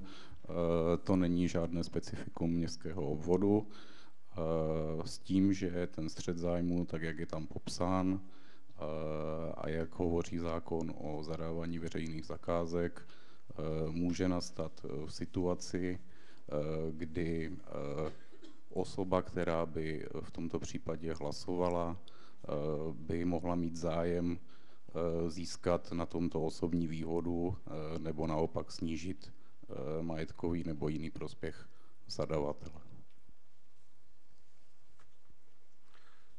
Jenom pozorním, že my jsme vlastně jako členové rady, kteří o tom rozhodovali, už tento formulář jednou podepsali. Eh, já jsem se přiznám, že jsem do posud se taky s tím nesetkal, nicméně eh, pravidla pro dotaci asi striktně vyžadují podpis tohoto formuláře. Je to tak, pane magistře? Ano. Tak, děkuji. Eh, pan zastupitel Paliza má slovo. Já děkuji za vysvětlení, myslím, že to bylo v celku jasné, já jenom teda tady skutečně v tom bodě, kde se píše pro účel stavce 1 ke střetu zájmu dochází z rodinných důvodů, z důvodu citových vazeb, z důvodu politické nebo národní spřesnosti, z důvodu hospodářského nebo z důvodu jiného společenského zájmu a tak dále a tak dále. Jako si, jako mě tam děsí ta, ta politická zpřízněnost, protože jako, nebo, nebo jiná, co, co to vlastně je. Eh, to by tady asi museli zahlásit někteří členové klubu z hnutí ano, téměř, eh, nebo podstatě všichni, eh, asi střed zájmu, protože mě v celku překvapuje na zastupitelstvu, když se schvalují nějaké peníze i pro třeba obchodní společnosti, tak zastupitele, kteří jsou v obchodních společnostech města a jsou z politické strany a jsou tam zaměstnáni, tak normálně běžně těsně před hlasováním zahlásí střed zájmu. Samozřejmě chápu, že eh, tady ta relevantní informace je asi v tom, že se jedná o dotaci, která bude tady směřovat eh, v rámci Evropské unie, čili asi proto. Je jenom teda se ta definice je taková, že se potom nestane, že tady jako člověk podepíše a pak někde bude někde spatřen na focen, jak bývá zvykem a Eh, jsme v době, kdy žijeme, kdy jsme svědky určitých honíček na různé zastupitele politiky a tak potom taková fotečka někde může znamenat, že někdo řekne, to je zcela evidentní střed zájmu. Já si samozřejmě uvědomuji i to, že příchodem podnikatelských skupin na, do politického spektra se, posun, se definice střetu zájmu posunula úplně někde do absurdna. Dneska může kdokoliv, kdo je v, v radě, po případě někde ve vedení nějakého města, může klidně podnikat, nikomu to nevadí. Nicméně jsou to věci, které v minulosti možné nebyly. Chápu, že ten posun tady eh, v tom čase nějakém je. Eh, takže eh, jak jsem říkal, mě v celku překvapuje, že všichni zastupitelé tady přitomní tento dokument podepsali, ani se zeptali, proto já jsem čekal na to, že bude nějaké vysvětlení. Dovolím se tedy dobrou výtku. Pokud se dopředu vědělo, že něco takového bude podepisováno. Stalo to možná za nějaký mail každému zastupiteli, ať se na to připraví. Já jsem teda nic v mailu nenašel. Občas mi sice do mailu chodí různé věci, ale tohle to jsem tam nenašel. Čili já tento projekt samozřejmě podporuji, nechtě, protože jak si, jak ta myšlenka toho využití toho projektu byla započata ještě v minulosti. Nicméně domnívám se, že tak závažný dokument jako čestné prohlášení o střetu zájmu se všema okolnostma tady uvedenýma stálo alespoň za krátký komentář a ne na papír, za papír na stole, ve kterém se děle podepište, rychle to odevzdejte, můžeme hlasovat. Já možná vrátím se k začátku toho. Já jsem velice krátký komentář k tomu měl úplně na začátku. E, možná, že nebyl úplně důkladný, nicméně komentář pana magistra asi je dostatečný. Každý ať vyhodnotí, je to čestné prohlášení každého zastupitele osobně, takže každý ať si vyhodnotí, jestli ho může nebo nemůže podepsat, to je jeho úkon, který činí. Takže já do ničí hlavy nevidím, ani to nehodlám zkoumat, takže já sám za sebe jsem bez problému tento formulář podepsal. Já nespatřuju sám za sebe žádný, žádnou vazbu, ani nikoho nezvýhodňuji, tak jak to pan magistr Fiala tady citoval nemám tam žádný problém s tím. Přihlášena paní eh, místostarská Bajgarová. Jak tomu uh, materiálu uh, dodám dvě věci. První tady navážu na pana kolegu Palizu, který pravděpodobně teda narážel na společnost uh, Bystroň, uh, Bystroň Group, která je, jestli jste naznačil, nějakým způsobem zpřízněná z hnutí.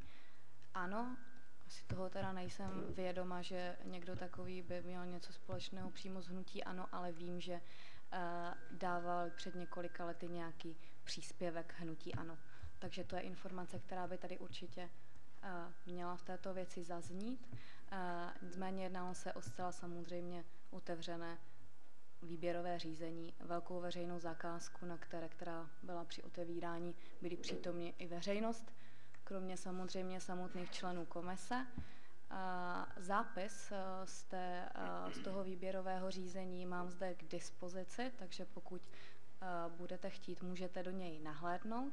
A, a druhá věc, kterou bych ještě zmínila, ta se týká toho samotného projektu, protože jsem byla znovu dotázaná paní kolegyni Toškovou na záležitost, pro jakou cílovou skupinu je ten projekt určen. Proto my jsme tam znovu vlastně celou tu projektovou dokumentaci vložili a projekt je primárně určen pro handicapované a rodiny, rodiny s dětmi. Jedná se tady možná pro připomenutí o velký venkovní areál u základní školy Karla Pokorného s, s budovou zázemí. Děkuji. S dotazem pan zastupitel Paliza. Já mám eh, jeden takový komentář a pak jeden dotaz, takže začnu tím eh, komentářem. Já se osobně domnívám, že eh, jakákoliv účast koukoliv v politické straně nebo jeli přívržencem či, či donátorem, tak ho určitě nehandicapuje k tomu, aby se mohl účastnit kterékoliv veřejné zakázky, to jsou tady naprosto rovné podmínky. To mě vůbec nevadí, právě naopak si říkám, že eh, eh, to je věc, která by eh, se už jednou měla z toho, jak si z toho politického prostředí prostě dostat ven a neměli by být ti lidi a za to nějakým způsobem šikanování, včetně těch, kteří potom se účastní těch výběrových řízení na, na straně toho vybíratele, který vybírá toho dodavatele takové či oné zakázky. To je jenom krátký komentář. Za mě žádný problém s Mobiston Group znám je z práce ještě, eh, když se soutěžily některé věci na městě v minulém volebním období a ta práce byla odvezena naprosto v pořádku. Já mám tedy ten dotaz jeden a to je ten, kdy, kdy podepisovali radní tyto dokumenty, které jsou tady to čestné prohlášení o střetu zájmu, jestli to bylo dneska na radě, nebo to bylo někdy v, v před, předstihu? Já si myslím, že to bylo v době, kdy jsme o tom hlasovali eh, v rámci rady. Víme přesný datum? Takže paní místo staroska řekne přesné datum. Neřeknu přesný datum, ale eh, bylo to při zadání veřejné zakázky, nikoli při jejím vyhodnocení. Tak, pan zastupitel Palíza. Já děkuji za vyčerpávající informace. Může si potom tady uh, někdo z pracovníků organizačního přijít pro ten můj dokument, který je teda poslední. Děkuji. Takže v této chvíli poprosím o další dotazy v rámci materiálu 23, eh, protože běží samozřejmě diskuze o materiálu. Nikdo už se na nic nechce zeptat, pakliže ne, pojďme k usnesení. Chce někdo měnit navržené usnesení? Pokud ne, tak pojďme hlasovat o materiálu číslo 23.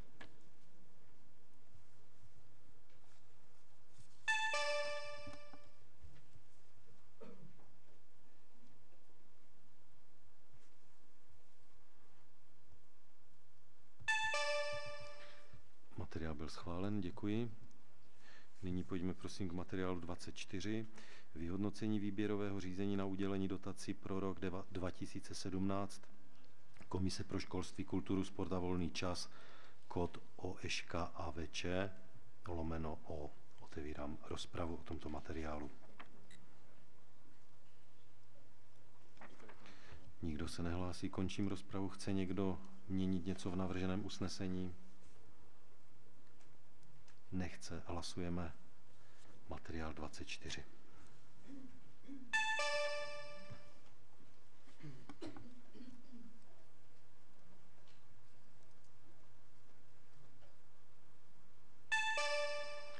Materiál byl schválen, děkuji. Nyní materiál 25. Výroční zpráva o činnosti za rok 2016 Centra sociálních služeb Poruba příspěvkové organizace jejímž zřizovatelem je statutární město Ostrava Městský obvod Poruba. Otevírám rozpravu o materiálu a vidím zde přítomnou paní ředitelku. Vidím ji? Ano, vidím ji. Paní ředitelka Malinová sedí v sadu, takže bude připravena reagovat na případný dotaz. Zatím žádný dotaz není, takže já končím rozpravu. Chce někdo měnit něco v navrženém usnesení? Nechce, hlasujeme materiál 25.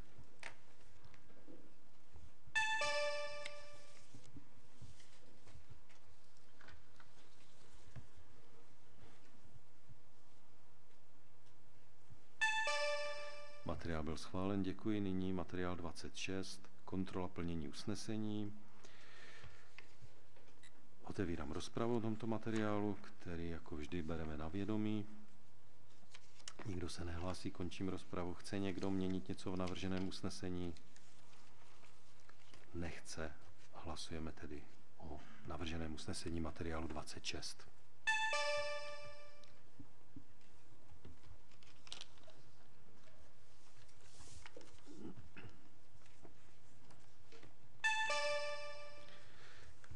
byl schválen, děkuji.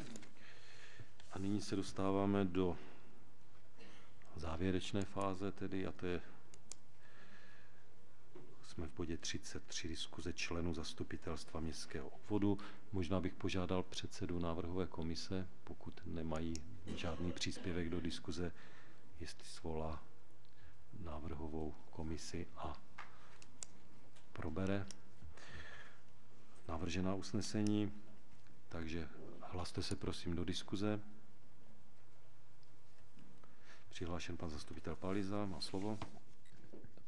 Děkuji za slovo, pane starosto. Eh, já jsem byl některými občany v místě bydliště eh, dotázán k záležitosti eh, těch zahrádek mateřských škol. Všichni zaznamenali, že zahrádky ožily tím, že děti ráno odpoledne vychází na zahradu, což je fajn. Je to samozřejmě i o víkendu, je u toho dospělá osoba, která umožňuje vstup na ty předškoly, na ty zařízení, eh, což je bezvadné, jenom eh, eh, se mi zdálo, že asi se to někde možná probíralo, ale eh, já jsem to nezaznamenal, že ta informace mohla být těm, eh, jak si buď to nájemníkům nebo vlastníkům bytových jednotek, kteří v těch lokalitách, eh, kde máme buď to společenství vlastníků, po případě, kde máme mateřskou školku v nájmu, mohli být informováni, že něčemu takovému dojde, ale nicméně nezaznamenal jsem, že by někdo protestoval, že by si někdo stěžoval, spíš byli překvapeni touto, touto skutečností, že děti mají možnost v těch zahrádkách pobývat i o dnech pracovního klidu nebo pracovního volna. Takže to je taková eh, poznámka, informace. Přihlášen, přihlášen pan místostarosta Zábojník. Dobrý den pro všem.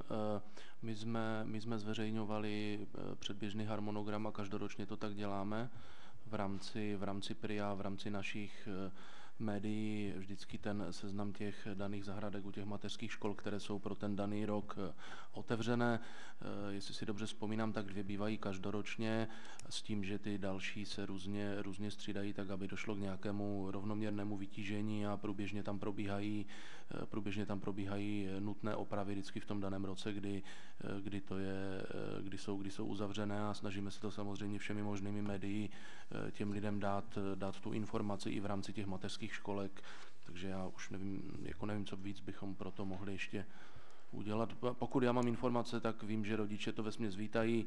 Možná na, v loňském roce na jedné mateřské školce nebylo to vytížení úplně tak vysoké, ale jinak, jinak jsou celkem vytížené. Paní zastupitelka Konečná. Dobrý den, e, já se omlouvám, jestli zdržím, mám tři věci není tu pan Drastych, tak aspoň zastoupím. Eh, já jsem si četla dopis, eh, kde jste odpovídali na cenu tepla. Eh, text jsem dala přečíst odborníkovi na teplo. Potřebuji, abyste to ještě znovu přehodnotili, protože já vám přečtu větu, nebo tři věty, co napsal. Odpověď města Poruba je kombinace značného alibismu a hluboké neznalosti problematiky. Důležité je začít s přepočtem výkonu, kdy odběratel může rozporovat významnou složku cena tepla, a to do 39. Ne tak, jak je napsáno v textu do v prosinci 2000, jo, na konci roku e, pro rok následující. V případě, že se tím chce město zabývat v závěru tohoto roku, tak v té době už nic neovlivní.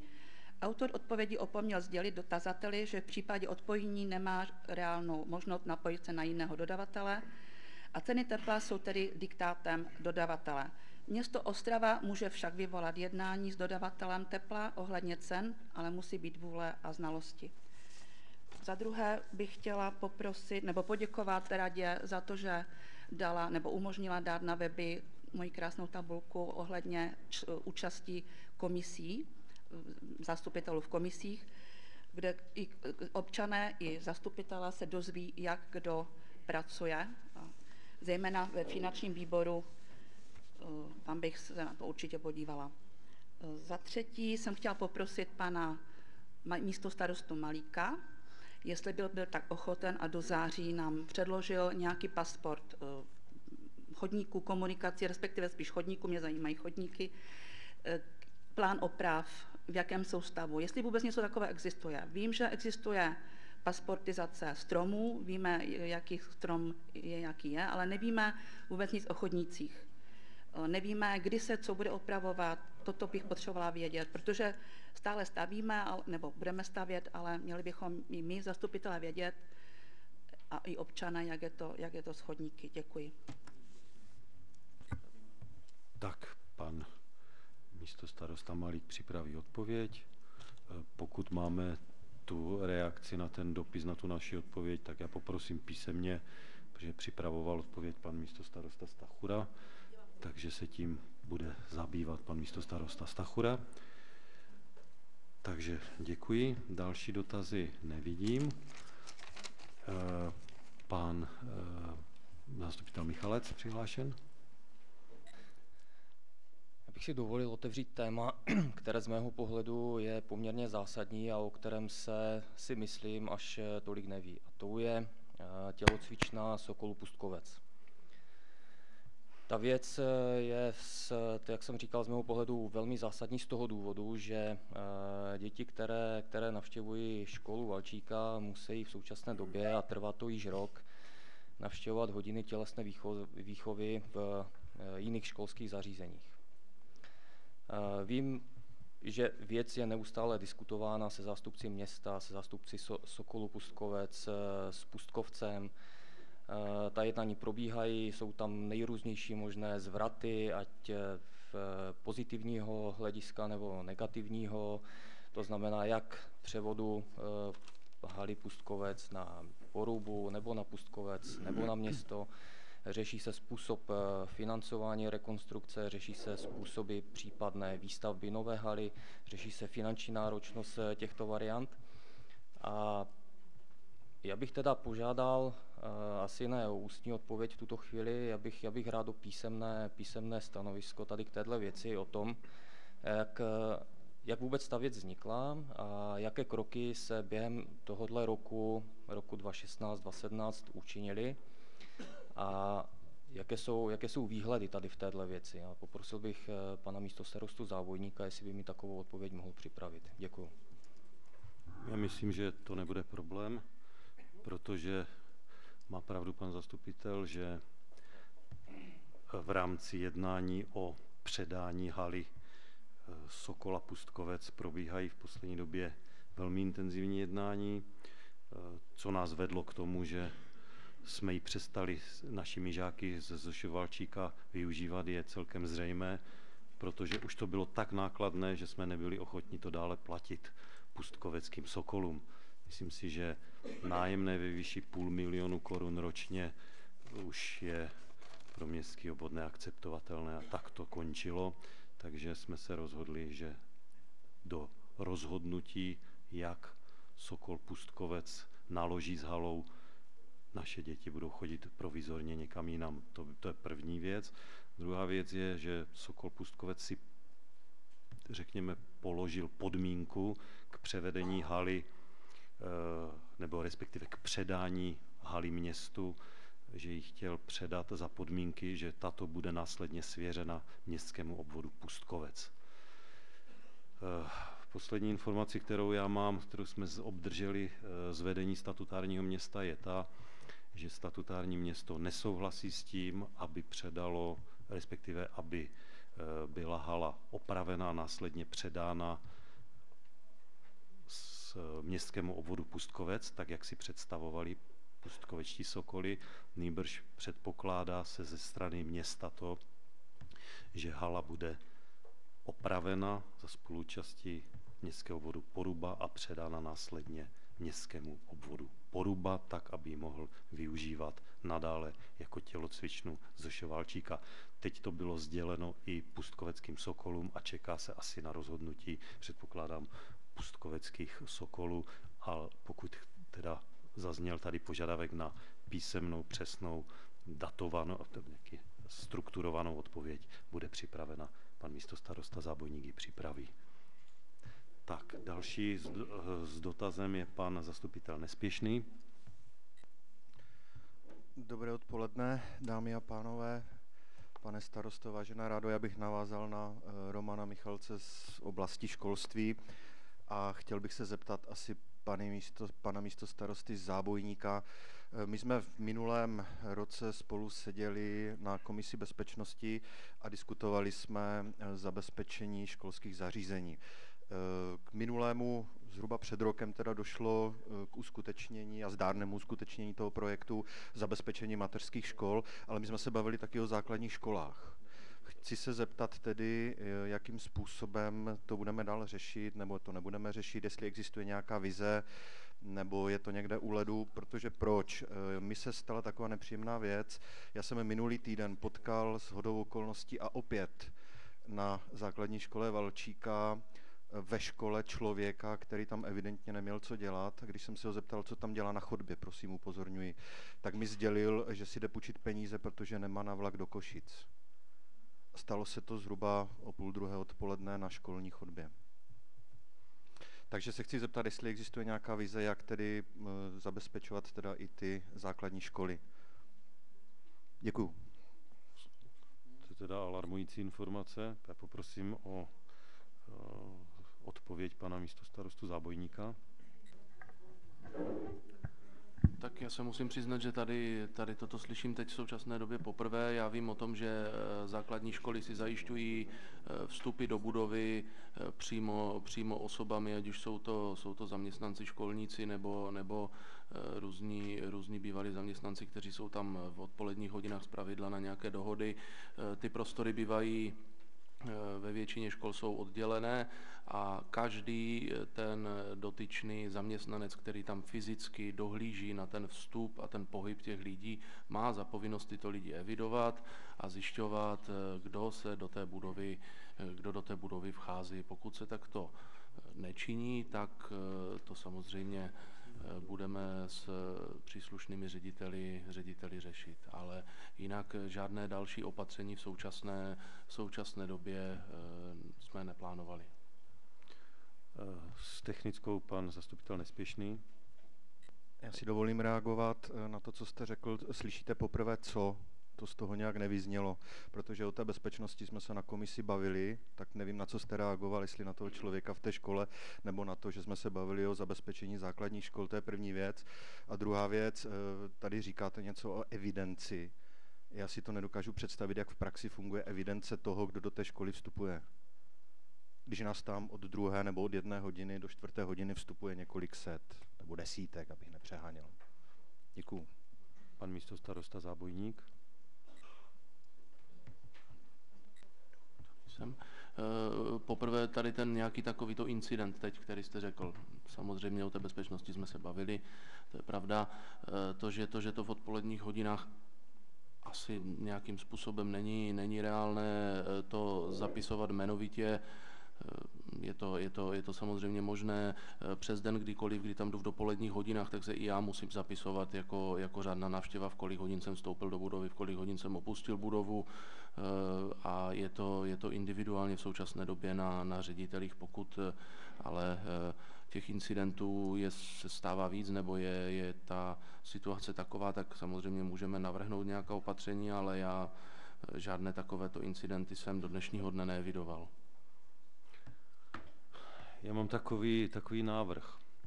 Ještě než tento náš záznam bude na YouTube, tak bychom mohli zkusit udělat, vzpomínám to s panem místostarostou, domluvíme se a uděláme si na Mátkově pár návštěv do škol, jestli se tam dostaneme nebo ne.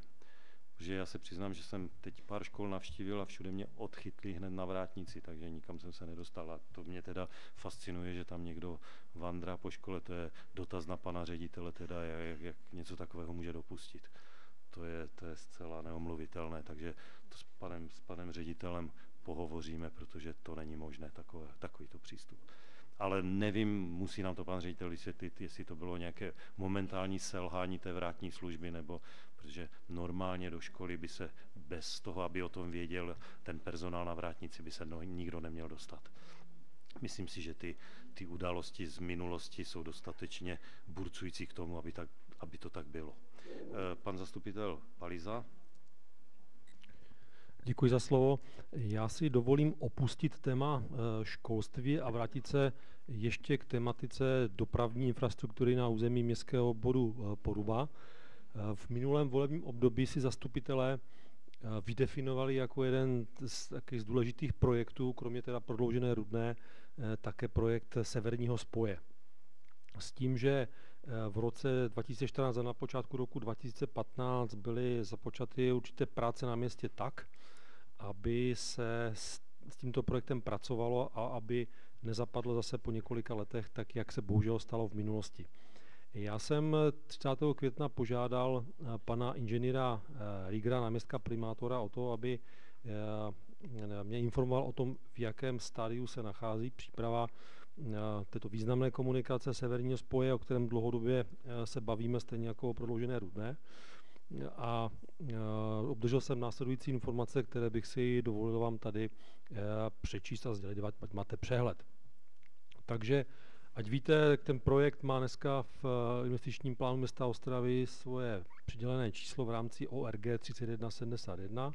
Zhotovitelem projektové dokumentace pro tzv. důrku je vybrán, eh, vybrána společnost Dopravoprojekt Ostrava akciová společnost.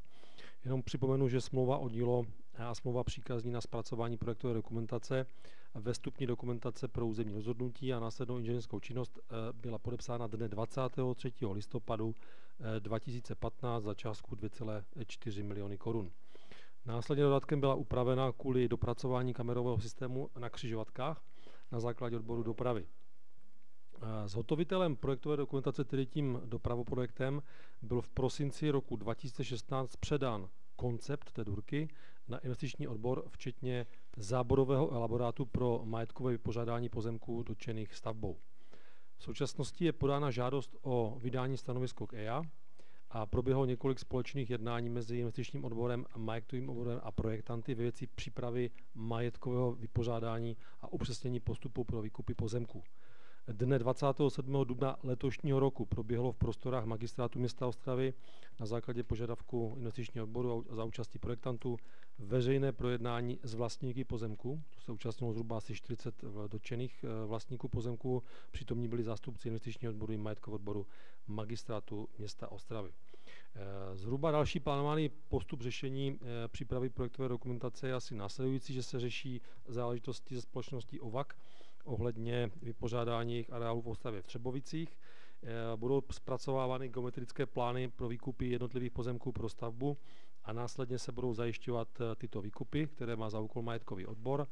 No a eh, pokud všechno půjde dobře, tak je předpoklad, že dle původního harmonogramu je vydání územního rozhodnutí plánováno předběžně na květen roku 2018, to znamená na příští rok. Eh, ten záměr je pak takový, aby s tímto projektem eh, pracovalo vedení eh, Ostravské radnice a společně s Moravskoslezským krajem zkusili najít cestu na ministerstvo dopravy, které by společně s ŘSD mohlo to, tento spoj vybudovat tak, aby sedmý a osmý stavební obvod získal přístup na dnešní dálnici D1. Takže tolik informace.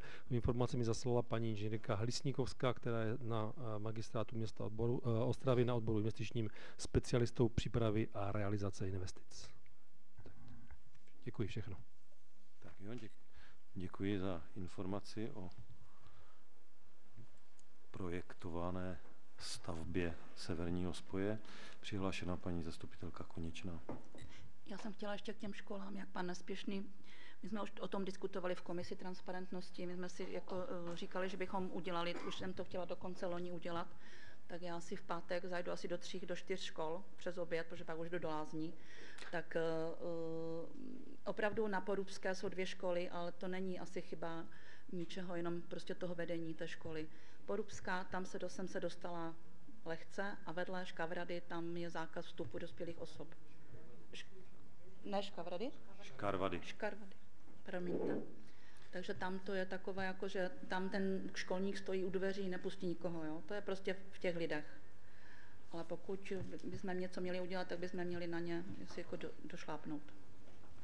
V zájmu našich dětí. Ano, ano. Čili je to zřejmě evidentně ve, v tom, jak je ta škola vedena, jak, jak dalece je kladen apel na to, aby kontrolovali ty, ty cizí lidi při vstupu, respektive vůbec jakékoliv lidi, protože já můžu stokrát říkat, že jsem rodič dítěte, nebo že jsem děda, že si jdu pro dítě a to, to prostě nemůže, nemůžu se tam jen tak dostat. Tak, děda, teda díky svému věku. Tak, eh, přihlášen pan eh, zastupitel Nosek. Dobré odpoledne ještě jednou. Já teda přispěju taky svou trošku do mlína tady k této diskuzi. Vzhledem k tomu, že tento eh, záznam zastupitelstva bude na YouTube, tak pochopitelně nebudu absolutně nic a nikoho jmenovat, ale na jisté nejmenované mateřské škole v obvodu Poruba eh, sice byly instalovány dole pevné masivní dveře, které se dají otevřít pouze na bzučák eh, po zazvonění. Nicméně tento bzučák obsluhuje eh, učitelka, která v době, kdy bzučí na ty dveře, hlídá asi 30 dětí ve věku od 3 do 6 let, takže nemá absolutně šanci rozeznat, že i vzhledem k tomu, že tam není kamera, jenom ten bzučák, kdo bzučí. Jo, takže ona prostě zmáčkne tlačítko, vpustí dovnitř, předpokládá, že to je buď rodič nebo někdo, kdo si jde pro dítě nebo ho tam vede. Takže sice tam jsou pěkné, hezké, řekněme v uvozovkách nedobytné masivní dveře, ovšem otevřít je, je velice snadné. Jo? Takže, a to je mateřská škola, prosím vás, to není základní škola. Jo? Takže e, skutečně, pokud teda jako jsme otevřeli debatu bezpečnosti dětí, e, tak e, něco se udělalo, to je fajn, ale stále jsou určitě mezery, jistě. A dá se s tím něco určitě ještě dělat, aby se to posílilo. Na to bych prosil reakci pana místostarosty zábojníka. Jenom krátce, my jsme, nevím teda, o které školce, to si potom možná si řekneme, to by mě schválně zajímalo, protože my jsme eh, na všechny školky nechali instalovat samozřejmě dveře, které se zavírají, které si ovládá učitelka ze třídy, nicméně nad každými dveřmi je, eh, je, je instalovaná kamera a ta, a ta učitelka vidí, kdo do té budovy vchází. Tak to se to celé koncipovalo, zdali to nevyužívají, nevím. To už bohužel je já, na nich. No. Já poprosím pana místostarostu, ať provede kontrolu ve všech našich školských zařízení, znovu poškolí personál, nebo ať je s vedením, vedením těch našich příspěvkovek ten personál školen, protože to není možné, aby se opravdu do tak citlivých zařízení, jako jsou zařízení školská, dostal kdokoliv, kdo tam nemá co dělat. E, pan zastupitel Nosek. Je tedy možné, jestli to, jestli to je pravda, já s vámi nechci se hádat, je to možné. Já jsem si té kamery nevšiml, ale dneska jsou ty kamery tak malé, že je možné, že tam ta kamera je, takže pokud ano, tak se omlouvám. Nicméně, jestli na tu školku, jestli do té školky chodí 120 dětí, tak zde máme okruh možná 500 dospělých lidí, jo, protože dva rodiče, nějaké babičky, dědeč, dědečkové, prostě tetičky, kteří eventuálně můžou ty děti vyzvedávat a ty učitelky nemají absolutně šance si všech těch 500 tváří zapamatovat, to prostě není možné. Jo. Jo, takže, takže asi tak. Dobrá, pan, pan zastupitel Pobuta. Tak, dobrý den. A teď se přiznám, že mě trošku mrzí, my jsme tady tím s tím, tohle s tou problematikou se chtěli zabývat právě už jako pár zasedání komise zpětně. Bohužel jsme měli tolik materiálu, že jsme nebyli schopni se k tomu dostat takže bych si tady tu problematiku vzal na starosti a příště bych radě předložil potom nějaký výstup. Jo? Já nevím, jestli se na to dostanu jako na to následující jednání, ale potom v nějaké nejbližší době.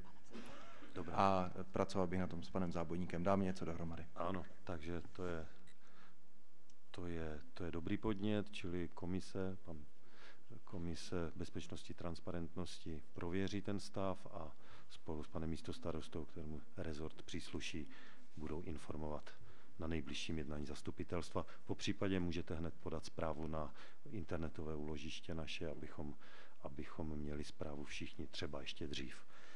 Děkuji. E, nikoho dalšího nevidím přihlášeného, tak já si dovolím sám na závěr mm, dvě informace mít.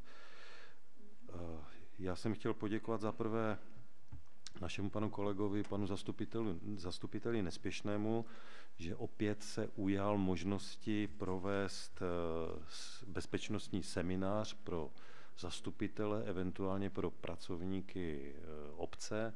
S panem tajemníkem a s panem, s panem kolegou Nespěšným jsme domluvili dva termíny a v této chvíli už jsem z toho vypreparoval termín jeden, čili 26.6. 16 hodin bychom, pokud tedy bude zájem, a já doufám, že bude, provedli hm, školení na téma informační hrozby.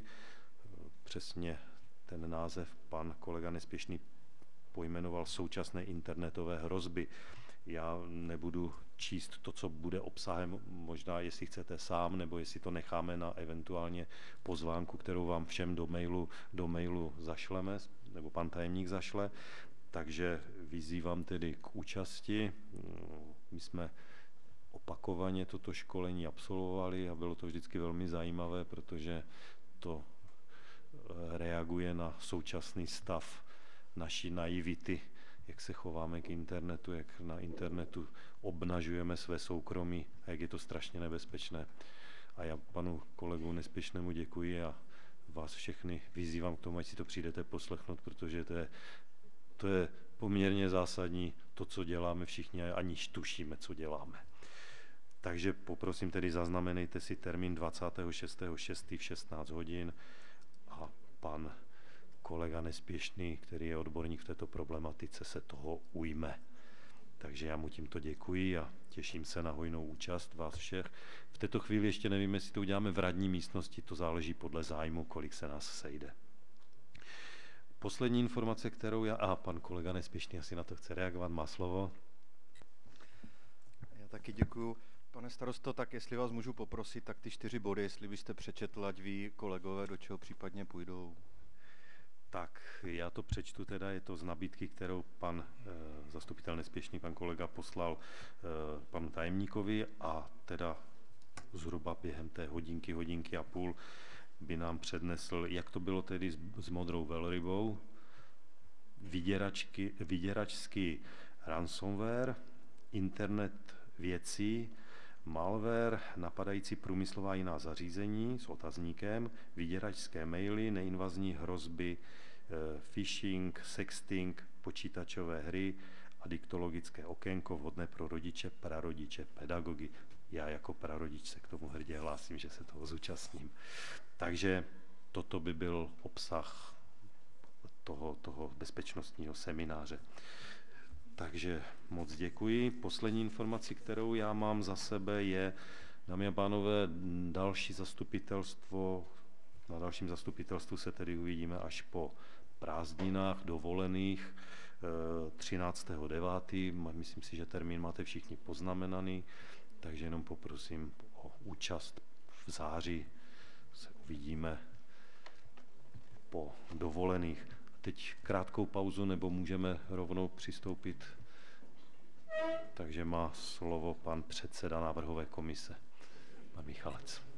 Já si teda dovolím jako předseda návrhové komise převzít zodpovědnost za všechny členy a konstatuji teda, že o všech materiálech eh, bylo řádně hlasováno a přijali jsme eh, přesně tolik usnesení, kolik bylo materiálu. Takže já děkuji. Předpokládám, že žádná námitka od člena návrhové komise tady není, že to je jednomyslně. Děkuji. A mně nezbývá už nic jiného, než se dámy a pánové, vážené kolegyně, vážení kolegové, s vámi rozloučit. Přeji vám všech, všem krásnou dovolenou a hlavně be, bezpečný návrat z ní. Takže nashledanou v září.